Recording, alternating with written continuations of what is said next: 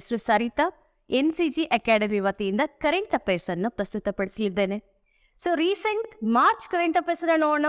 The first topic is Barda wild sanctuary ಅಥವಾ ಬಾರ್ಬ್ರಾ ವನ್ಯಜೀವಿ ಧಾಮ ಸೊ ಇದ್ಯಾಕೆ ನ್ಯೂಸಲ್ಲಿ ಇದೆ? ಸೊ ಇದು ಯಾವ ಸ್ಟೇಟ್ ಅಲ್ಲಿ ಇದೆ? ಇದನ್ನೆಲ್ಲ ಕೂಡ ನೋಡೋಣ. So Barda wildlife sanctuary Barda ವನ್ಯಜೀವಿ ಧಾಮ ಸೊ ಇದು ಯಾವ ಸ್ಟೇಟ್ ಅಲ್ಲಿ ಇದೆ ಅಂತಂದ್ರೆ it is in Gujarat news ಅಲ್ಲಿ ಯಾಕಿದೆ ಅಂತಂದ್ರೆ ಗುಜರಾತ್ ಅಂದಿದ ತಕ್ಷಣ ನಮ್ಗೆಲ್ಲ ನೆನಪಾಕೋದು ಗಿರ್ ಸಿಂಹಗಳು ಗಿರ್ ಲಯನ್ಸ್. ಗಿರ್ ಲಯನ್ಸ್ ಇನ್ನೊಂದು ಹೆಸರು, ಏಷ್ಯಾಟಿಕ್ ಲಯನ್. ಸೊ ಇದರ ಒಂದು ಸೈಂಟಿಫಿಕ್ ನೇಮ್ ಯಾವುದು? ಪ್ಯಾಂಥರಾ ಲಿಯೋ. ಓಕೆ ಏಷ್ಯಾಟಿಕ್ ಸಿಂಹಗಳು ಗಿರ್ ರಾಷ್ಟ್ರೀಯ ಉದ್ಯಾನವನಗಳಲ್ಲಿದ್ದಾವೆ okay so Gir lions are Asiatic lions. Asiatic ಸಿಂಹ ಅಂತ ಕೂಡ ಕರಿತೀವಿ. ಇದಕ್ಕೆ ಇನ್ನೊಂದು ಹೆಸರು ಏನು ಗೊತ್ತಾ? ಪರ್ಷಿಯನ್ ಸಿಂಹ ಅಂತ ಕೂಡ ಹೇಳ್ತೀವಿ. ಪರ್ಷಿಯನ್. ಪರ್ಷಿಯನ್. ಓಕೆ ಸೊ ಇದರ ಒಂದು ವೈಶಿಷ್ಟ್ಯತೆ ಏನು ಗೊತ್ತಾ? ಈ ಗಿರ್ ಸಿಂಹಗಳಿರೋದು ಭಾರತದಲ್ಲಿ ಮಾತ್ರ, ಭಾರತದಲ್ಲೂ ಗುಜರಾತಲ್ಲಿ ಮಾತ್ರ. It's a pride of India and Gujarat okay ಭಾರತದ ಹೆಮ್ಮೆ. ಸೊ ಗುಜರಾತ್ನ ಹೆಮ್ಮೆ. ಸೊ ಈ ಒಂದು ಗಿರ್ ಲಯನಗಳು ಆಲ್ಮೋಸ್ಟ್ ಎಷ್ಟಿದಾವೆ ಗೊತ್ತಾ? ಎರಡ್ ಸಾವಿರದ ಹದಿನೈದರಲ್ಲಿ ಒಂದು ಸೆನ್ಸಸ್ ಆಯ್ತು. ಲಯನ್ ಸೆನ್ಸಸ್ ಅಂತ. ಈ ಒಂದು ಸಿಂಹಗಳ ಒಂದು ಗಣತಿ. ಸೊ ಆ ಗಣತಿ ಪ್ರಕಾರ ಐನೂರ ಇಪ್ಪತ್ತ್ಮೂರು ಸಿಂಹಗಳಿದ್ದಾವೆ ಗಿರ್ ಸಿಂಹಗಳು. ಓಕೆ ಸೊ ಇವುಗಳನ್ನು ನಾವು ಸಂರಕ್ಷಣೆ ಮಾಡಬೇಕು. ಸೊ ನಿಮ್ಗೆಲ್ಲರಿಗೂ ಗೊತ್ತಾ ಇದೆ, Gujarat is very prone to earthquakes so ಅಲ್ಲಿ ನೈಸರ್ಗಿಕ ವಿಪತ್ತುಗಳು ಆಗಾಗ ಸಂಭವಿಸ್ತಾ ಇರುತ್ತೆ. ಸೊ ಒಂದ್ಸತಿ ಅರ್ತ್ ಕ್ವೇಕ್ ಬೇರ್ ನ್ಯಾಷನಲ್ ಪಾರ್ಕ್ ಅಲ್ಲಿ ಅಂತಂದ್ರೆ ಇಡೀ ಒಂದು ಸಂತತಿನೇ ಕಣ್ಮರೆ ಆಗ್ಬಿಡುತ್ತೆ, ಈ ಒಂದು ಗಿರ್ ಲಯನ್ ಸಂತತಿ. ಸೊ ಅದಕ್ಕೋಸ್ಕರ ನಾವು ಈಗ ಸುರಕ್ಷಿತವಾಗಿ ಇನ್ನೊಂದರಿಗೂ ಕೂಡ ಸ್ಥಳಾಂತರಿಸುವುದರ ಮೂಲಕ ಈ ಒಂದು ಪ್ರಭೇದವನ್ನ ಮುಂದಿನ ಪೀಳಿಗೆಗೆ ನಾವು ಸಂರಕ್ಷಿಸಬಹುದಾಗಿದೆ. ಓಕೆ ಆ ನಿಟ್ಟಿನಲ್ಲಿ ಈ ಒಂದು ಗಿರ್ ನ್ಯಾಷನಲ್ ಪಾರ್ಕ್ ಅಲ್ಲಿ ಇರುವಂತಹ ಏಷ್ಯಾಟಿಕ್ ಲಯನ್ ಎಲ್ಲಿಗೆ ನಾವು ಸ್ಥಳಾಂತರಿಸ್ತಿದ್ದೀವಿ ಅಂದ್ರೆ ಬಾದ್ರಾ ವೈಲ್ಡ್ ಲೈಫ್ ಸ್ಯಾಂಕ್ಚುರಿಗೆ ಯಾರು? Gujarat government okay Badra wildlife sanctuary so ಇದು ಬಾದ್ರಾ ಎಲ್ಲಿದೆ? ಇಟ್ ಈಸ್ ಇನ್ ಗುಜರಾತ್ ಅಲ್ಲಿ ಗುಜರಾತ್ ಒಳಗಡೆನೆ ಒಂದ್ ಕಡೆಯಿಂದ ಎಷ್ಟು ನೂರು kilometre ಅಂತರದಲ್ಲಿದೆ. Hundred kilometres away from Gir national park ನೂರು ಕಿಲೋಮೀಟರ್ ಅಂತರದಲ್ಲಿರುವಂತಹ ಬಾರ್ಧಾಮ್ ವೈಲ್ಡ್ ಲೈಫ್ ಸ್ಯಾಂಕ್ಚುರಿಗೆ ಇದನ್ನು ಸ್ಥಳಾಂತರಿಸ್ತಿದ್ದೀವಿ. ಓಕೆ ಸೊ ಈ ಒಂದು ಗಿರ್ ನ್ಯಾಷನಲ್ ಪಾರ್ಕ್ ಅಲ್ಲಿ ಇರುವಂತಹ ಏಷ್ಯಾಟಿಕ್ ಲಯನ್ಸ್ ಅಲ್ಲಿಗೆ ಸ್ಥಳಾಂತರಿಸ್ಲಿಕ್ಕೆ ಕಾರಣ ಆದರೂ ಏನು? ಓಕೆ ಸೊ ಲಾಸ್ಟ್ ಒಂದು ತ್ರೀ ಫೋರ್ ಇಯರ್ಸ್ ಬ್ಯಾಕು ಒಂದು ಇಪ್ಪತ್ತು ಮೂವತ್ತು ಗಿರ್ ಲಯನ್ಸು ಸತ್ತೋದ್ರು. ಕಾರಣ ಏನು ಗೊತ್ತಾ? ಸೊ ಎರಡು ರೀಸನ್ ಒಂದು ಇನ್ಫೆಕ್ಷನ್ ಇನ್ನೊಂದು ಇನ್ಫೈಟಿಂಗ್ ಇನ್ಫೆಕ್ಷನ್ ಅಂದ್ರೆ ಸೊ ಅಲ್ಲಿರುವಂತಹ ಒಂದು ಗಿದ್ ಲಯನ್ಗಳಿಗೆ ಒಂದು ಕೆನೈನ್ ಡಿಸ್ಟೆಂಪರ್ ವೈರಸ್ ಅಂತ. ಏನು ಬೇಕಾಗಿಲ್ಲ, ಒಂದು ವೈರ, ವೈರಾಣುವಿನ ಸೋಂಕು. ಓಕೆ ಸುಮಾರು ಸ, ಸಿಂಹಗಳು ಸಹಾಯ ಮಾಡ್ತು. ಮತ್ತೆ ಇನ್ಫೈಟಿಂಗ್ ಅವುಗಳಲ್ಲೇ, ಸಿಂಹಗಳಲ್ಲೇ ಒಳ ಜಗಳ ಆಯ್ತು. ಸೊ ಅದಕ್ಕೋಸ್ಕರ ನಾವು ಮನಗಂಡದ್ದು ಏನಪ್ಪ ಅಂದ್ರೆ, ಈ ಒಂದು ಸಿಂಹಗಳನ್ನ ಬೇರೆಳಿಗೆ ಸ್ಥಳ ಸ್ಥಳಾಂತರಿಸಿದ್ರೆ ಇದರ ಪ್ರಭೇದವನ್ನ ನಾವು ಸಂರಕ್ಷಣೆ ಮಾಡ್ಬೋದು ಅಂತ ಅಂದ್ಬಿಟ್ಟು ಓಕೆ ಸೊ ಇದು ಅತಿ ಅಪರೂಪದ ಮತ್ತು ಸೊ ಈ ಒಂದು ಅಳಿವಿನ ಅಂಚಿನಲ್ಲಿರುವಂತಹ ಪ್ರಭೇದ. ಓಕೆ ಆಮೇಲೆ ಎಂಡಮಿಕ್ ಸ್ಥಳೀಯ ಪ್ರಭೇದ. ಸೊ ನಿಮಗೆ ಕೇಳ್ಬೋದು, ಏಷ್ಯಾಟಿಕ್ ಲೈನ್ ಎಂಡಮಿಕ್ ಸ್ಪೀಶೀಸ್ ಹೌದು ಎಂಡಮಿಕ್ ಯಾಕಂತಂದ್ರೆ ಸೊ ಒಂದೇ it is confine to one particular area ಒಂದು ನಿರ್ದಿಷ್ಟ ಪ್ರದೇಶಕ್ಕಷ್ಟೇ ಸೀಮಿತವಾಗಿದೆ. ಸೊ ಎಲ್ಲಿ? ಗುಜರಾತಲ್ಲಿ. ಓಕೆ ಸೊ ಮತ್ತೆ ಎಂಡೇಂಜರ್ಡ್ ಕ್ರಿಟಿಕಲಿ ಎಂಡೇಂಜರ್ಡ್ ಬರೀ ಇರೋದು ಐನೂರ ಇಪ್ಪತ್ತು ಅಷ್ಟೇ. ಓಕೆ ಕ್ರಿಟಿಕಲಿ ಎಂಡೇಂಜರ್ಡ್ ಸೊ ಮೂರನೇದೇನಪ್ಪ ಅಂತಂದ್ರೆ ಅಪರೂಪದ ಓಕೆ ಇಟ್ಸ್ ರೇರ್ ಸ್ಪಿ ಅಂದ್ರೆ ರೇರ್ ಸ್ಪೀಷೀಸ್ ಅಂದ್ರೆ ಮೊದಲು ಬೇರೆ ಒಂದು ಸೊ ಮಧ್ಯಪ್ರಾಚ್ಯ ದೇಶದಲ್ಲಿತ್ತು ಓಕೆ ವೆಸ್ಟ್ ವೆಸ್ಟ್ ಏಷ್ಯಾದಲ್ಲಿತ್ತು ಪಶ್ಚಿಮ ಏಷ್ಯಾದಲ್ಲಿತ್ತು ಪರ್ಷಿಯನ್ ಅಂದ್ರೆ ಏನು? ಇರಾನ್ ಕೂಡ ಇತ್ತು, ಇವಾಗಿಲ್ಲ ಓಕೆ ಇತ್ತೀಚೆಗೆ ಸುದ್ದಿಲಿ ಇದನ್ನ ನೋಡಿರ್ತೀರ ನೀವು? ಏನಪ್ಪಾ ಅಂತಂದ್ರೆ ನಮೀಬಿಯಾ ಇಂದ ನಾವು ಆಫ್ರಿಕನ್ ಚೀತಾನ ಕರ್ಸ್ಕೊಂಡ್ವಿ ಓಕೆ ಆಫ್ರಿಕನ್ ಚೀತಾನ ಸ್ಥಳಾಂತರಿಸಿದ್ವಿ. ಎಲ್ಲಿಗೆ? ಮಧ್ಯಪ್ರದೇಶದ ಕೂನೋ ಪಲ್ಪಾರ್ಗೆ ಅಲ್ವಾ? ಸೊ ಆ್ಯಕ್ಚುಲಿ ಈ ಒಂದು ಗಿರ್ ಲಯನ್ಸ್ ಅನ್ನು ಕೂಡ ಮಧ್ಯಪ್ರದೇಶದಲ್ಲಿರುವಂತಹ ಪೂನೆ ಪಲ್ಪರ್ ನ್ಯಾಷನಲ್ ಪಾರ್ಕ್ಗೆ ಸ್ಥಳಾಂತರಿಸಬೇಕು ಅನ್ನುವಂತಹ ಒಂದು ಪ್ರಸ್ತಾಪ ಇತ್ತು. ಆದರೆ ಗುಜರಾತ್ ಸರ್ಕಾರ ಇದನ್ನು ತಿರಸ್ಕರಿಸ್ತು. No so it's a pride of Gujarat so ನನ್ನ ಒಂದು ರಾಜ್ಯದ ಹೆಮ್ಮೆ ಈ ಒಂದು ಗಿರ್ ಲಯನ್ಸ್ ನಾನು ಹಾಗಾಗಿ ಇದನ್ನ ಸ್ಥಳಾಂತರಿಸೋದಿಲ್ಲ ಅಂತ. ಬೇರೆ ಒಂದು ರಾಜ್ಯಕ್ಕೆ ಬಿಟ್ಕೊಡಲ್ಲ ಅಂತ. ಸುಪ್ರೀಂ ಕೋರ್ಟ್ ಕೂಡ ಹೇಳ್ತು. ಓಕೆ ಆದ್ರೆ ಇನ್ನೊಂದು ರೀಸೆಂಟ್ ಆಗಿ ಒಂದು ಹೇಳಿಕೆ ಕೊಡ್ತು ಓಕೆ ಸೊ ನಾನ್ ಸ್ಥಳಾಂತರಿಸೋದಿಲ್ಲ ಓಕೆ ಸೊ ಈ ಒಂದು ಗುಜರಾತ್, ಈ ಒಂದು ಗಿರ್ ನ್ಯಾಷನಲ್ ಪಾರ್ಕ್ ಇಂದ ಬೇಕಾದ್ರೆ ನೈಸರ್ಗಿಕ ಕಾರಿಡಾರ್ಗಳ ಮೂಲಕ ನಡ್ಕೊಂಡು ಹೋಗಿ. ಎಲ್ಲಿಗೆ? ಕೂನೋ ಪಲ್ಪಾರಿಗೆ ಓಕೆ ಕಾರಿಡಾರ್ಗಳ ಮೂಲಕ ನ್ಯಾಚುರಲ್ ಕಾರಿಡಾರ್ಸ್ ಮೂಲಕ ಬೇಕಾದ್ರೆ ಈ ಸಿಂಹಗಳು ನಡ್ಕೊಂಡು ಹೋಗ್ಲಿ. ಅದಕ್ಕೇನು ನಮ್ಮ ಅಭ್ಯಂತರ ಇಲ್ಲ ಓಕೆ ನಾವು ಸ್ಥಳಾಂತರಿಸೋದಿಲ್ಲ ಅಂತ ಓಕೆ ಸೊ ಈಗ ಅರ್ಥಕ್ವೇಕ್ಸ್ ಆಗುವ ಭೀತಿ? ಓಕೆ ಅಥವಾ ಯಾವುದಾದ್ರೂ ನೈಸರ್ಗಿಕ ವಿಪತ್ತುಗಳು ಸಂಭವಿಸುವಂತಹ ಭೀತಿ ಇರೋದ್ರಿಂದ ಈ ಒಂದು ಏಷ್ಯಾಟಿಕ್ ಲಯನ್ಸ್ ಅನ್ನ ಅಥವಾ ಪರ್ಷಿಯನ್ ಲಯನ್ಸ್ ಅನ್ನ ಗಿರ್ ನ್ಯಾಷನಲ್ ಪಾರ್ಕಿಂದ ಬಾದ್ರ ವೈಲ್ಡ್ ಲೈಫ್ ಸ್ಯಾಂಕ್ಚುರಿಗೆ ಸ್ಥಳಾಂತರಿಸ್ತಿದ್ದೀವಿ. ಓಕೆ ಸೊ ಒಂದು ಈ ಒಂದು ಭೀತಿ ಓಕೆ ಸೊ ಸ್ಥಳಾಂತರ ಮಾಡ್ಬೇಕಾದ್ರೆ ಕೆಲವು ತೊಡಕುಗಳು ಕೂಡ ಉಂಟಾಗುತ್ತೆ. ಸೊ ಆ ಒಂದು ಗಿರ್ ನ್ಯಾಷನಲ್ ಪಾರ್ಕ್ ಆಜು ಬಾಜು ಸುತ್ತಮುತ್ತ ಬಾರ್ದ ವೈಲ್ಡ್ ಸ್ಯಾಕ್ಚುರಿ ಸುತ್ತಮುತ್ತ ಇರುವಂತಹ ಈ ಒಂದು ಟ್ರೈಬ್ಸ್ ಆಗಿರ್ಬೋದು, ಆದಿವಾಸಿ ಜನಾಂಗ ಆಗಿರ್ಬೋದು ಅಥವಾ ಕೆಲವು ಕುರಿಗಾಯಿ ಸಮುದಾಯ pastoral community that has to be those community has to be translocated okay so relocated so ಅವ್ರ, ಅವರಿಗೆ ರಿಹ್ಯಾಬಿಲಿಟೇಷನ್ ಕಲ್ಪಿಸಬೇಕಾಗುತ್ತೆ. ಅಲ್ಲಿರುವಂತಹ ಒಂದು ಆ್ಯಕ್ಚುಲಿ ಈ ಒಂದು ಭಾಗದಲ್ಲಿ ಕಂಡು ಬರುವಂತಹ ಮಾಲ್ದಾರಿ ಸಮುದಾಯ.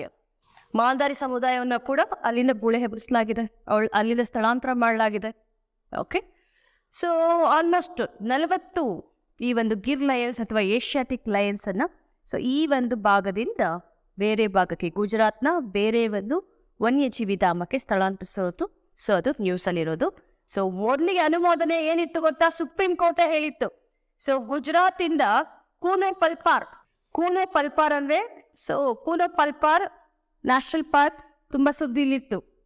ಸೊ ಆಫ್ರಿಕಾದ ಆಫ್ರಿಕಾದ ಚೀತಾನ ನಮೀಬಿಯಾ ದೇಶದಿಂದ ಭಾರತಕ್ಕೆ ಎಸ್ಪೆಷಲಿ ಈ ಒಂದು ನ್ಯಾಷನಲ್ ಪಾರ್ಕ್ಗೆ ನಾವು ಸೊ ತಗೊಂಡು ಬಂದ್ವಿ. ಮೊದಲಿಗೆ ಗಿರ್ ಲಯನ್ಸ್ನ ಇಲ್ಲಿಗೆ ಕಲಸಿ ಅಂತ ಇತ್ತು. ಯು ಪಿ ಎಸ್ ಕ್ವಶನ್ ಆಗಿದೆ. ಓಕೆ ಸೊ ಏನಂತ ಅಂದರೆ, ಈ ಒಂದು ಗಿರ್ ನಯನಗಳನ್ನು ಅಥವಾ ಗಿರ್ ಸಿಂಹಗಳನ್ನ ಕೆಳಗಿನ ಯಾವ ಒಂದು ರಾಷ್ಟ್ರೀಯ ಉದ್ಯಾನವಕ್ಕೆ ಸ್ಥಳಾಂತರಿಸುವಂತಹ ಯೋಜನೆ ಇದೆ ಅಂತಂದ್ಬಿಟ್ಟು. ಓಕೆ ಅದು ಕುನೋಪಲ್ಪ it is in Madhya Pradesh okay so ಇಲ್ಲಿ ಮೂರ್ ನಾಲ್ಕು ವಿಷಯಗಳು ಇಂಪಾರ್ಟೆಂಟ್ ಆಗುತ್ತೆ. ನೀವು ಏನಂತ ಕೇಳ್ಬೋದು ಅಂದ್ರೆ ಭಾರತ ವೈಲ್ಡ್ ಸ್ಯಾಂಕ್ಚುರಿ ಯಾವ ಒಂದು ರಾಜ್ಯದಲ್ಲಿದೆ ಅಂತ ಅಂದ್ಬಿಟ್ಟು ಓಕೆ ಸೊ ಈ ಒಂದು ಏಷ್ಯಾಟಿಕ್ ಸಿಂಹ ಅಥವಾ ಪರ್ಷಿಯನ್ ಸಿಂಹ ಓಕೆ ಗಿರ್ಲೆಯನ್ನ ಇನ್ನೊಂದು ಹೆಸರು ಏನು ಅಂತ ಕೇಳ್ಬೋದು? ಪರ್ಷಿಯನ್ ಸಿಂಹ ಪರ್ಷಿಯನ್ ಅಂತಂದ್ರೆ ಸೊ ಇರಾನಲ್ಲೂ ಕೂಡ ಅದು ಕಂಡು ಬಂದಿತ್ತು ಅಂತ.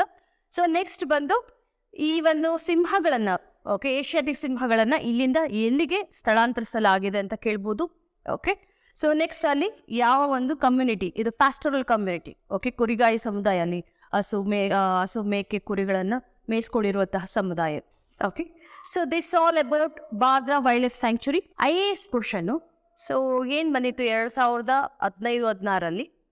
ಸೊ ಗಿರ್ ಲಯನ್ಸ್ ಅನ್ನ ಕೆಳಗಿನ ಯಾವ ಒಂದು ನ್ಯಾಷನಲ್ ಪಾರ್ಕಿಗೆ ಸ್ಥಳಾಂತರಿಸುವಂತಹ ಒಂದು ಯೋಜನೆ ಇದೆ ಅಂತ ಬಟ್ ಸ್ಥಳಾಂತರಿಸಿಲ್ಲ ಓಕೆ ಸೊ ಇದರ ಒಂದು ಸೈಂಟಿಫಿಕ್ ನೇಮ್ ಯಾವುದು ಅಂತಂದ್ರೆ ಪ್ಯಾಂತೇರಾ ನಿಯೋ ಸೊ ಏಷ್ಯಾಟಿಕ್ ಸಿಂಹದ ಒಂದು ವೈಜ್ಞಾನಿಕ ಹೆಸರು ಪ್ಯಾಂತೇರಾ ಲಿಯೋ ಓಕೆ ಸೊ ಇಷ್ಟಾದ್ಮೇಲೆ ನೆಕ್ಸ್ಟ್ ಟಾಪಿಕ್ ನೋಡೋಣ.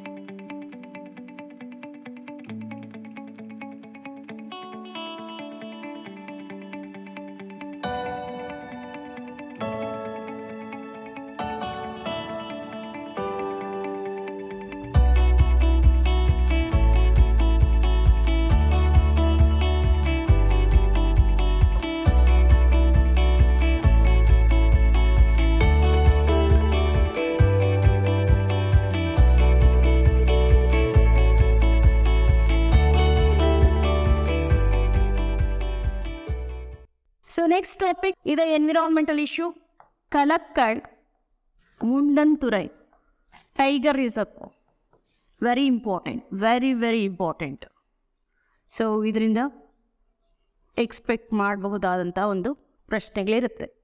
ಕಲಕ್ಕಡ್ ಮುಂಡಂತುರೈ ಓಕೆ ಸೊ ಈ ಒಂದು ಟೈಗರ್ ರಿಸರ್ವ್ ಅಥವಾ ಹುಲಿ ಸಂರಕ್ಷಿತ ಅರಣ್ಯ ಓಕೆ ಸೊ ಏನಕ್ಕೆ ಸುದ್ದಿಯಲ್ಲಿದೆ ಅಂತಂದ್ರೆ ನೂರ ಇಪ್ಪತ್ತೇಳು ವರ್ಷಗಳ ಹಿಂದೆ ಶ್ರೀಲಂಕಾದಲ್ಲಿ ಒಂದು ಚಿಟ್ಟೆ, ಒಂದು ಅಪರೂಪದ ಪ್ರಭೇದ ಓಕೆ ಒಂದು ವಿರಳ ಪ್ರಭೇದ, ವಿರಳ ಪ್ರಭೇದದ ಪತಂಗ ನಾಟ್ ಆಕ್ಚುಲಿ ಚಿಟ್ಟೆ, ಅದೊಂದು ವಾತ್ ಅಥವಾ ಪತಂಗ.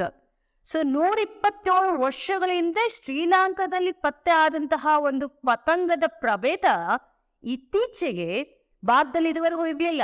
ಇತ್ತೀಚೆಗೆ ಭಾರತದಲ್ಲಿ ಅದರಲ್ಲೂ ಕೂಡ ತಮಿಳುನಾಡಿನ ಕಲಕ್ಕರ್ ಮುಂಡನ್ತುರೈ, ಕಲಕ್ಕಡ್ ಮುಂಡನ್ತುರೈ ಹುಲಿ ಸಂರಕ್ಷಿತ ಅರಣ್ಯದಲ್ಲಿ ಕಂಡು ಬಂದಿದೆ okay so it's a moth rare moth species rare moth species ಅಂದರೆ ಅತ್ಯಂತ ಅಪರೂಪದ ಅಥವಾ ವಿರಳ ಒಂದು ಪತಂಗ ಪ್ರಭೇದ.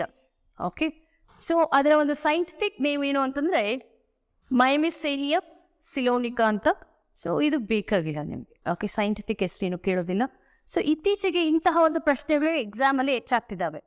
ಸೊ ಯಾವ ರೀತಿ ಕೇಳ್ತಾರೆ ಅಂತಂದ್ರೆ, ಇಂತಹ ಒಂದು ವಿಶಿಷ್ಟವಾದ ಅಥವಾ ವಿರಳ ಪ್ರಭೇದವನ್ನ ಸೊ ವೆಸ್ಟರ್ನ್ ಘಾಟ್ಸಲ್ಲಿ ಪಶ್ಚಿಮ ಘಟ್ಟದಲ್ಲಿ ಅಥವಾ ಇಂತಹ ಒಂದು ಸ್ಪೆಸಿಫಿಕ್ ಪ್ಲೇಸಲ್ಲಿ ಪತ್ತೆ ಹಚ್ಚಲಾಗಿದೆ. ಸೊ ಅದು ಯಾವ ಸ್ಟೇಟ್ ಅಲ್ಲಿ ಕಂಡು ಬರುತ್ತೆ ಓಕೆ ಸೊ ಅಥವಾ ಯಾವ ಪ್ರಭೇದವನ್ನ ಕಂಡುಹಿಡಿದಿದ್ದೀವಿ? ಸೊ ಇದನ್ನ ಕೂಡ ಹೆಚ್ಚಾಗಿ ಎಕ್ಸಾಮ್ಗಳಲ್ಲಿ ಕೇಳುವಂತಹ ಒಂದು ಪ್ರವೃತ್ತಿ ಹೆಚ್ಚಾಗ್ತಿದೆ. ಸೊ ತಿಳ್ಕೊಂಡಿರ್ಬೇಕು. ಸೈಂಟಿಫಿಕ್ ನೇಮ್ ಅಷ್ಟು ಇಂಪಾರ್ಟೆಂಟ್ ಅಲ್ಲ. K P S C group C ಎಕ್ಸಾಮ್ಸ್ಗೆ so U P S ಸಿಲಿ ಕೇಳ್ತಾನೆ. ಓಕೆ ಸೊ ಆದರೆ ವಿರಳ ಪ್ರಭೇದ ವಿರಳ ಪತಂಗ ಪ್ರಭೇದ ಇತ್ತೀಚೆಗೆ ಎಲ್ಲಿ ಪತ್ತೆ ಆಯಿತು ಅಂತ ಕೇಳ್ತಾರೆ? ಯಾಕಂದರೆ ಮೊತ್ತ ಮೊದಲ ಬಾರಿಗೆ, ಪ್ರಪ್ರಥಮವಾಗಿ ಭಾರತದಲ್ಲಿ ಕಂಡು ಬಂದಿರುವುದು. ಓಕೆ ಸೊ ಅದು ಎಲ್ಲಿ ಅಂತಂದರೆ ಇಟ್ ಈಸ್ ಇನ್ ತಮಿಳ್ನಾಡು ತಮಿಳ್ನಾಡಿನ ಕಲಕ್ಕಡ್ ಮುಂಡನುತುರೈ ಟೈಗರ್ ರಿಸರ್ವ್ ಅಲ್ಲಿ. ಸೊ ಈ ಕಲಕ್ಕಡ್ ಮುಂಡನುತುರೈ ಟೈಗರ್ ರಿಸರ್ವ್ದು ಬಹಳ ವಿಶೇಷತೆ ಇದೆ. ಏನ್ ಗೊತ್ತಾ? ಸೊ ನಿಮಗೆ ಗೊತ್ತಿದೆ, ನಮ್ಮಲ್ಲಿ ಐವತ್ತಕ್ಕೂ ಹೆಚ್ಚು ಹುಲಿ ಸಂರಕ್ಷಿತ ಅರಣ್ಯಗಳು ಈಗ ಪ್ರಸ್ತುತ ಇದ್ದಾವೆ ಅಂತ. ದೇಶದ ಮೊಟ್ಟ ಮೊದಲ ಹುಲಿ ಸಂರಕ್ಷಿತ ಅರಣ್ಯ ಯಾವುದು ಅಂತ ಕೇಳಿದ್ರೆ that is Kalakkad Mundanthurai okay ದೇಶದ India's first tiger reserve okay ಇದು ಭಾರತದ ಮೊದಲ ಹುಲಿ ಸಂರಕ್ಷಿತ ಅರಣ್ಯ ಇಂಡಿಯಾಸ್ ಫಸ್ಟ್ ಟೈಗರ್ ರಿಸರ್ವ್ ಅಷ್ಟೇ ಇಲ್ಲ ತಮಿಳ್ನಾಡು ಕೂಡ ಫಸ್ಟ್ ಟೈಗರ್ ರಿಸರ್ವ್ ಇದು. Okay it is first tiger reserve of Tamil Nadu okay so ಇದನ್ನ ಆ್ಯಕ್ಚುಲಿ ಏನಂತ ಕರಿತೀವಿ ಗೊತ್ತಾ? ರಿವರ್ ಸ್ಯಾಂಕ್ಚುರಿ ಅಂತ ಕರಿತೀವಿ. ಸೊ ಅಂದರೆ ನದಿಧಾಮ ಅಂತ. ಕಾರಣ ಏನು ಅಂತ ಹೇಳ್ತೀನಿ ನೋಡಿ. So it's called river sanctuary ತುಂಬ ಇಂಪಾರ್ಟೆಂಟ್ ನಿಮಗೆ ಹೇಳಿಕೆಗಳು ಕೊಟ್ಟು ಕೇಳ್ಬೋದು. ಸೊ ಯಾವ ಒಂದು ಟೈಗರ್ ರಿಸರ್ವ್ ಅನ್ನು ರಿವರ್ ಸ್ಯಾಂಕ್ಚುರಿ ಅಥವಾ ನದಿಧಾಮ ಅಂತ ಕರಿತೀವಿ ಅಂತಂದ್ರೆ ದಟ್ ಈಸ್ ಕಲಕ್ಕಡ್ ಮುಂಡನ್ತುರೈ ಇದನ್ನ ಯಾಕೆ ರಿವರ್ ಸ್ಯಾಂಕ್ಚುರಿ ಅಂತ ಕರಿತಿದ್ದೀವಿ ಅಂತಂದ್ರೆ ಸೊ ಹದಿಮೂರಕ್ಕೂ ಹೆಚ್ಚು ನದಿಗಳು ಇಲ್ಲಿ ಉಗಮಗೊಳ್ಳುತ್ತಂತೆ. More than thirteen rivers originate in this Kalakkad right so ಆ ನಿಟ್ಟಿನಲ್ಲಿ ಸೊ ಇದಕ್ಕೆ ನಾವು ರಿವರ್ ಸ್ಯಾಂಕ್ಚುರಿ ಅಂತ ಕರಿತೀವಿ. ಯಾವ ನ್ಯಾಷನಲ್ ಪಾರ್ಕಿಗೆ ರಿವರ್ ಸ್ಯಾಂಕ್ಚುರಿ ಅಂತ ಕರೆಯಲಾಗುತ್ತೆ ಅಂತ ಕೇಳ್ಬೋದು. ಸೊ ಆಮೇಲೆ ಅನದರ್ ಇಂಪಾರ್ಟೆಂಟ್ ಥಿಂಗ್ ಏನಪ್ಪಾ ಅಂತಂದ್ರೆ, ನಿಮಗೆ ಲಯನ್ ಮೆಕಾಕ ಗೊತ್ತಿರುತ್ತೆ. ಸಿಂಹಬಾಲದ ಕೋತಿ. ಈ ಸಿಂಹಬಾಲದ ಕೋತಿ ಸೊ ವಿಶೇಷವಾಗಿ ಅಥವಾ ಪ್ರತ್ಯೇಕವಾಗಿ ಕಂಡು ಬರೋದು ಎಲ್ಲಿ ಗೊತ್ತಾ? ಪಶ್ಚಿಮ ಘಟ್ಟಗಳಲ್ಲಿ. I A S N question ಒಂದ್, ಒಂದ್ಸರಿ ಬಂದಿತ್ತು. ಏನ್ ಗೊತ್ತಾ? ಕೆಳಗಿನ ಯಾವ ರಾಜ್ಯದಲ್ಲಿ ಸಿಂಹಬಾಲದ ಪೋತಿ ಕಂಡು ಬರೋದಿಲ್ಲ ಅಂತ. ಓಕೆ ಮೂರು ಪಶ್ಚಿಮ ಘಟ್ಟದ ರಾಜ್ಯಗಳನ್ನು ಕೊಟ್ಬಿಟ್ಟು ನಾಲ್ಕನೇದು ಆಂಧ್ರ ಪ್ರದೇಶ ಕೊಟ್ಟಿದ್ರು. ಆಂಧ್ರ ಪ್ರದೇಶದಲ್ಲಿ ಪಶ್ಚಿಮ ಘಟ್ಟ ಇಲ್ಲ. ಓಕೆ ಸೊ ಈ ತರ ಕೂಡ ಪ್ರಶ್ನೆಗಳು ಬರುತ್ತೆ. ಓಕೆ ಬಹಳ important endemic species endangered species national parks ತುಂಬಾ ಇಂಪಾರ್ಟೆಂಟ್ ಎಲ್ಲ ಎಕ್ಸಾಮ್ಸ್ಗೂ ಕೇಳ್ತಾನೆ ಇರ್ತಾರೆ.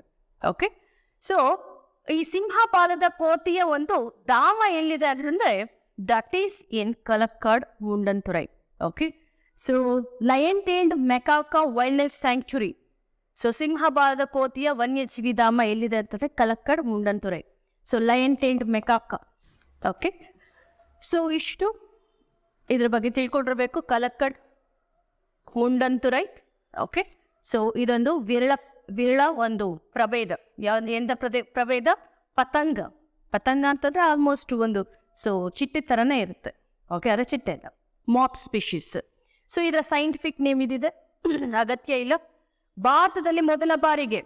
Okay first time we have discovered this species in India ನೂರ ಇಪ್ಪತ್ತೇಳು ವರ್ಷದಿಂದ ಶ್ರೀಲಂಕಾದಲ್ಲಿ ಶ್ರೀಲಂಕಾದಲ್ಲಿತ್ತು. ಅದಕ್ಕೆ ನೋಡಿ ಸಿಲೋನಿಕಾ ಅಂತ ಕೊಟ್ಟಿದ್ದಾರೆ ಹೆಸರು. ಸೈಂಟಿಫಿಕ್ ನೇಮು ಸಿಲೋನಿಕಾ ಓಕೆ ಶ್ರೀಲಂಕಾದಲ್ಲಿ ಇತ್ತಲ್ಲ so it as derive it's name from Sri Lanka right so ಈ ಒಂದು ಕಲಕರ್ ಮುಂದಂತರ ಎಲ್ಲಿದೆ ಅಂತಂದ್ರೆ ತಮಿಳ್ನಾಡಲ್ಲಿದೆ.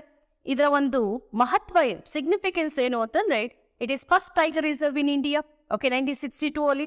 ಸೊ ನೆಕ್ಸ್ಟ್ ಇದಕ್ಕೆ ಇನ್ನೊಂದೇನಪ್ಪ ಅಂದ್ರೆ ರಿವರ್ ಸ್ಯಾಂಕ್ಚುರಿ ಅಂತ ಕರಿತೀವಿ. ಹದಿಮೂರಕ್ಕೂ ಹೆಚ್ಚು ನದಿಗಳು ಇಲ್ಲಿ ಉಗಮ ಆಗುತ್ತೆ ಸೊ ಆ ನಂತರ ಇಲ್ಲಿ ಲಯನ್ ಟೇಲ್ಡ್ ಮೆಕಾಕ ಸ್ಯಾಂಕ್ಚುರಿ ಕೂಡ ಇದೆ ಓಕೆ ಸಿಂಹ ಬಾಲಕೋತಿಯ ವನ್ಯಜೀವಿ ಧಾಮ ಕೂಡ ಇದೆ. ಸೊ ಈ ಒಂದು ಕಲಕರ್ ಮುಂಡಂತುರೈ ನಮ್ಮ ಈ ಒಂದು ತಮಿಳುನಾಡಿನ ಮೊದಲ ಹುಲಿ ಸಂರಕ್ಷಿತ ಅರಣ್ಯ ಕೂಡ ಆಗಿತ್ತು. ನಮ್ಮ ಕರ್ನಾಟಕದಲ್ಲಿ ಎಷ್ಟು ಹುಲಿ ಸಂರಕ್ಷಿತ ಅರಣ್ಯಗಳಿದೆ? ಸೊ ನಮ್ಮ ಕರ್ನಾಟಕದ ಮೊದಲ ಹುಲಿ ಸಂರಕ್ಷಿತ ಅರಣ್ಯ ಯಾವುದು ಅನ್ನೋದನ್ನು ಸೊ ಸ್ವಲ್ಪ ಕಾಮೆಂಟ್ ಬಾಕ್ಸಲ್ಲಿ ಹಾಕಿ. ಓಕೆ ಸೊ ನೆಕ್ಸ್ಟ್ ಬಂದು ಗ್ರೇಟ್ ಇಂಡಿಯನ್ ಬಸ್ಟರ್ಡ್ ಎಲ್ಲ ಎನ್ವಿರಾನ್ಮೆಂಟಲ್ ಟಾಪಿಕ್ಸ್ನ ಫಸ್ಟು ಕವರ್ ಮಾಡಿಬಿಡ್ತೀನಿ. So then I come to science topics then Karnataka topics ಈ ಥರ ಮುಗಿಸ್ಕೊಂಡು ಹೋಗ್ತೇನೆ. ಇದಕ್ಕೆ ಕನ್ನಡದಲ್ಲಿ ಹೆಬ್ಬಕ್ಕ ಅಂತ ಕೂಡ ಕರಿತೀವಿ. ಹೆಬ್ಬಕ್ಕ.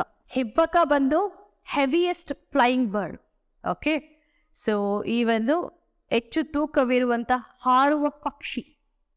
ಹಾರುವ ಪಕ್ಷಿ ಆದರೆ ತೂಕನೂ ಕೂಡ ಇದೆ ಓಕೆ ಸೊ ಈ ಒಂದು ಹೆಬ್ಬಕ್ಕ ಬಂದು it is a critically endangered species critically endangered ಅಂದರೆ ತೀವ್ರ ಅಳಿವಿನ ಅಂಚಿನಲ್ಲಿರುವಂತಹ ಒಂದು ಪ್ರಭೇದ. ಪಕ್ಷಿ ಇದು. Okay is it bird heaviest bird heaviest flying bird ಹಾರಬಲ್ಲಂತಹ ಒಂದು ಪಕ್ಷಿ ಅದೇ ತೂಕ ಕೂಡ ಇದೆ. ಸೊ ಈಗ ಆಸ್ಟ್ರಿಚ್ ಇದೆ ಎಮೋ ಇದೆ ಸೊ ಇವೆಲ್ಲ ಕೂಡ ಹಾರ್ಲಿಕ್ಕಾಗಲ್ಲ ಬಟ್ ಇದು ಹಾರಬಲ್ಲಂತಹ ಒಂದು ಪಕ್ಷಿ ರೈಟ್ ಸೊ ಈ ಒಂದು ಗ್ರೇಟ್ ಇಂಡಿಯನ್ ಬಸ್ಟರ್ಡ್ ಯಾಕೆ ನ್ಯೂಸ್ ಇದೆ ಅಂತಂದ್ರೆ, ತುಂಬಾ ಸರಿ ಆಗಾಗ ನ್ಯೂಸ್ ಇದ್ದೇ ಇರುತ್ತೆ. ಇದರ ಸಂಖ್ಯೆ ಎಷ್ಟು ಕ್ಷೀಣಿಸಿದೆ ಗೊತ್ತಾ? ಲೆಸ್ ದ್ಯಾನ್ ಒನ್ ಫಿಫ್ಟಿ ನೂರ ಐವತ್ತಕ್ಕೂ ಕಮ್ಮಿ ಆಗಿದೆ. ಸೊ ಇದಿರೋದು ಪಾಕಿಸ್ತಾನದಲ್ಲಿ ಮತ್ತೆ ಇಂಡಿಯಾದಲ್ಲಿ ಎಸ್ಪೆಷಲಿ ಇಂಡಿಯಾದಲ್ಲಿ ಅಲ್ಲಿ ಗೊತ್ತಾ? ರಾಜಸ್ಥಾನ್ ಮತ್ತೆ ಗುಜರಾತ್. ಸೊ ಎಸ್ಪೆಷಲಿ ಈಗ ರಾಜಸ್ಥಾನದಲ್ಲಿ ಡೆಸರ್ಟ್ ಮತ್ತೆ ಕಿರಾಡಿಯೋ ನ್ಯಾಷನಲ್ ಪಾರ್ಕ್ಸಲ್ಲಿ ಸೊ ಈ ಒಂದು ಹೆಬ್ಬಕ್ಕಗಳನ್ನು ನಾವು ಕಾಣ್ಬೋದು. ಅದು ತುಂಬ ಕಡಿಮೆ ಒಂದು ಸೊ ಸಂಖ್ಯೆಯಲ್ಲಿ. ರೈಟ್ ಸೊ ಇದರ ಒಂದು ಉಳಿವಿಗಾಗಿ, ಇದರ ಸಂರಕ್ಷಣೆಗಾಗಿ ಹಲವಾರು ಕ್ರಮಗಳನ್ನು ಸರ್ಕಾರ ಕೂಡ ಕೈಗೊಳ್ತಾ ಇದೆ. ಸೊ ಅಷ್ಟೇ ಅಲ್ಲ, ನ್ಯಾಯಾಂಗ ಕೂಡ ಈ ವಿಷಯದಲ್ಲಿ ವಿಶೇಷ ಆಸಕ್ತಿಯನ್ನು ಕೂಡ ವಹಿಸ್ತಾ ಇದೆ. ಓಕೆ ಸೊ ಯಾಕಂದ್ರೆ ಸುಪ್ರೀಂ ಕೋರ್ಟು ಲಾಸ್ಟ್ಗೆ ಹೇಳಿತ್ತು, ನೋಡ್ರಪ್ಪ, ನೀವು ಪ್ರಾಜೆಕ್ಟ್ ಟೈಗರ್ ತಗೊಂಡ್ ಬಂದ್ರಲ್ಲ, ಅದೇ ತರ ಇದನ್ನು ತಗೊಂಡ್ ಬನ್ನಿ ಪ್ರಾಜೆಕ್ಟ್ ಗ್ರೇಟ್ ಇಂಡಿಯನ್ ಬಸ್ಟರ್ಡ್ ಅಂತ ತಗೊಂಡ್ ಬನ್ನಿ. ಪ್ರಾಜೆಕ್ಟ್ ಟೈಗರ್ ತರೋಕ್ಕಿಂತ ಮುಂಚೆ ಹುಲಿಗಳ ಸಂಖ್ಯೆ ಕ್ಷೀಣಿಸ್ತಾ ಇತ್ತು. ಓಕೆ ಸೊ ಆ ನಂತರ ವೃದ್ಧಿ ಹಾಕ್ತಾ ತೊಡಗ್ತು. ಅದೇ ಥರ ಅದೇ ಮಾದರಿಯಲ್ಲಿ so project great Indian bustard ಅಂತ ತಗೊಂಡು ಬನ್ನಿ. So that we can increase the number of great Indian bustards okay ಯಾಕಂದರೆ ತೀವ್ರ ಅಳಿವಿನ ಅಂಚಿನಲ್ಲಿದೆ. ಮೊದಲಿಗೆ ಕರ್ನಾಟಕದಲ್ಲೂ ಸ್ವಲ್ಪ ಇದ್ವು. ಓಕೆ ಇವಾಗ ಕರ್ನಾಟಕದಲ್ಲೂ ಕೂಡ ಅವು ಪರೀಕ್ಷಾಗಿದ್ದವು ಮೊದಲು ಕರ್ನಾಟಕದಲ್ಲಿ ಯಾವ ಸ್ಯಾಂಕ್ಚುರಿ ಇತ್ತು ಅಂತ, ಯಾವ ವೈಲ್ಡ್ ಲೈಫ್ ಸ್ಯಾಂಕ್ಚುರಿ ಇತ್ತು ಅಂತ ನನ್ನ ನೀವು ಹೇಳಬೇಕಾಗತ್ತೆ. ಓಕೆ ಸೊ ಈಗಿರೋದು ಬರೀ ರಾಜಸ್ಥಾನ್ ಮತ್ತು ಗುಜರಾತಲ್ಲಿ. ಓಕೆ ಈ ಪಕ್ಷಿಗಳು ಹಾರಬಲ್ಲವು ಅಂತ ಹೇಳಿದೆ. ಓಕೆ ಹಾರಬೇಕಾದ್ರೆ ಈ ಒಂದು ಎಲೆಕ್ಟ್ರಿಕ್ ಪೋಲ್ಸ್ ಅಥವಾ ಎಲೆಕ್ಟ್ರಿಕ್ ಲೈನ್ಸ್ಗೆ ಡಿಕ್ಕಿ ಹೊಡೆದು ಸೊ ತುಂಬ ತುಂಬ ಸರಿ ಎಲೆಕ್ಟ್ರಿಕ್ಯೂಷನ್ ಆಗಿ ಓಕೆ ಸೊ ಕೊಲಿಷನ್ ಆಗಿ ಸಾವನ್ನಪ್ತಿತ್ತು ಸೊ ಈ ನಿಟ್ಟಿನಲ್ಲಿ ಸುಪ್ರೀಂ ಕೋರ್ಟ್ ಹಸ್ತಕ್ಷೇಪ ಮಾಡಿ ಓಕೆ ಏನಂತ ಹೇಳ್ತು?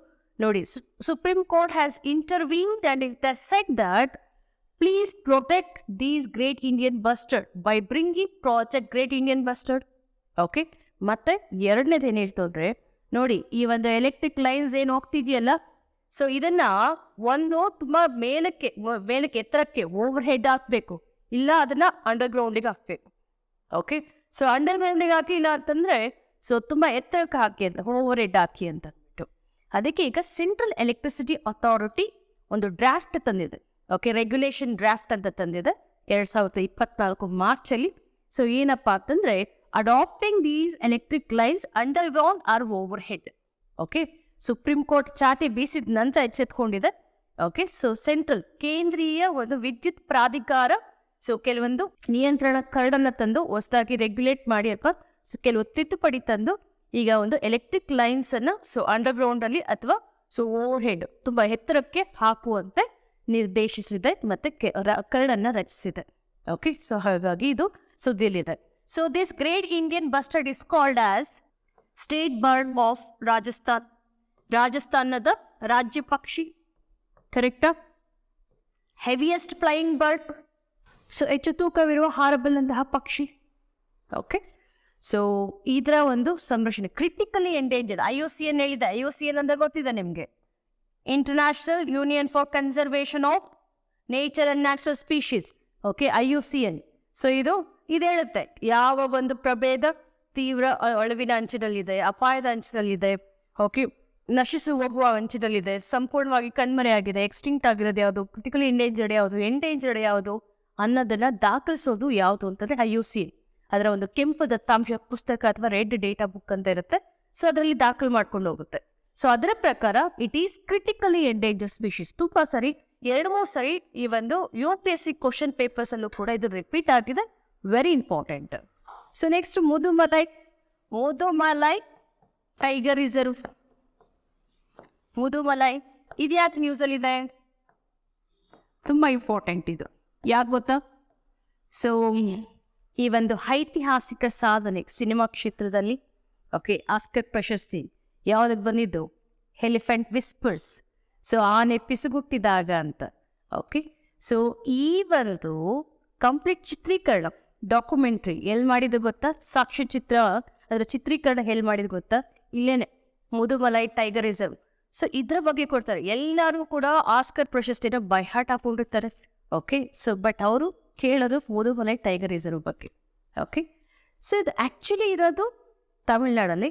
ಆದರೆ it is a tri junction of Karnataka Kerala Tamil Nadu okay Karnataka Kerala ತಮಿಳ್ನಾಡಿನ ಒಂದು ತ್ರಿಸಂಗಮ ಅಂತ, ಅಥವಾ ತ್ರಿವೇಣಿ ಸಂಗಮ. ಓಕೆ ಇದನ್ನು ಹೇಳ್ತೀವಲ್ಲ, ಕುಂಭಮೇಳ. ಓಕೆ ಸೊ ಗಂಗಾ, ಯಮುನಾ, ಸರಸ್ವತಿ, ಅದರ ಒಂದು ತ್ರಿವೇಣಿ ಸಂಗಮ ಅಂತ. ಆ ಥರ ಸೊ ತಮಿಳ್ನಾಡು, ಕೇರಳ ಮತ್ತು ಕರ್ನಾಟಕ.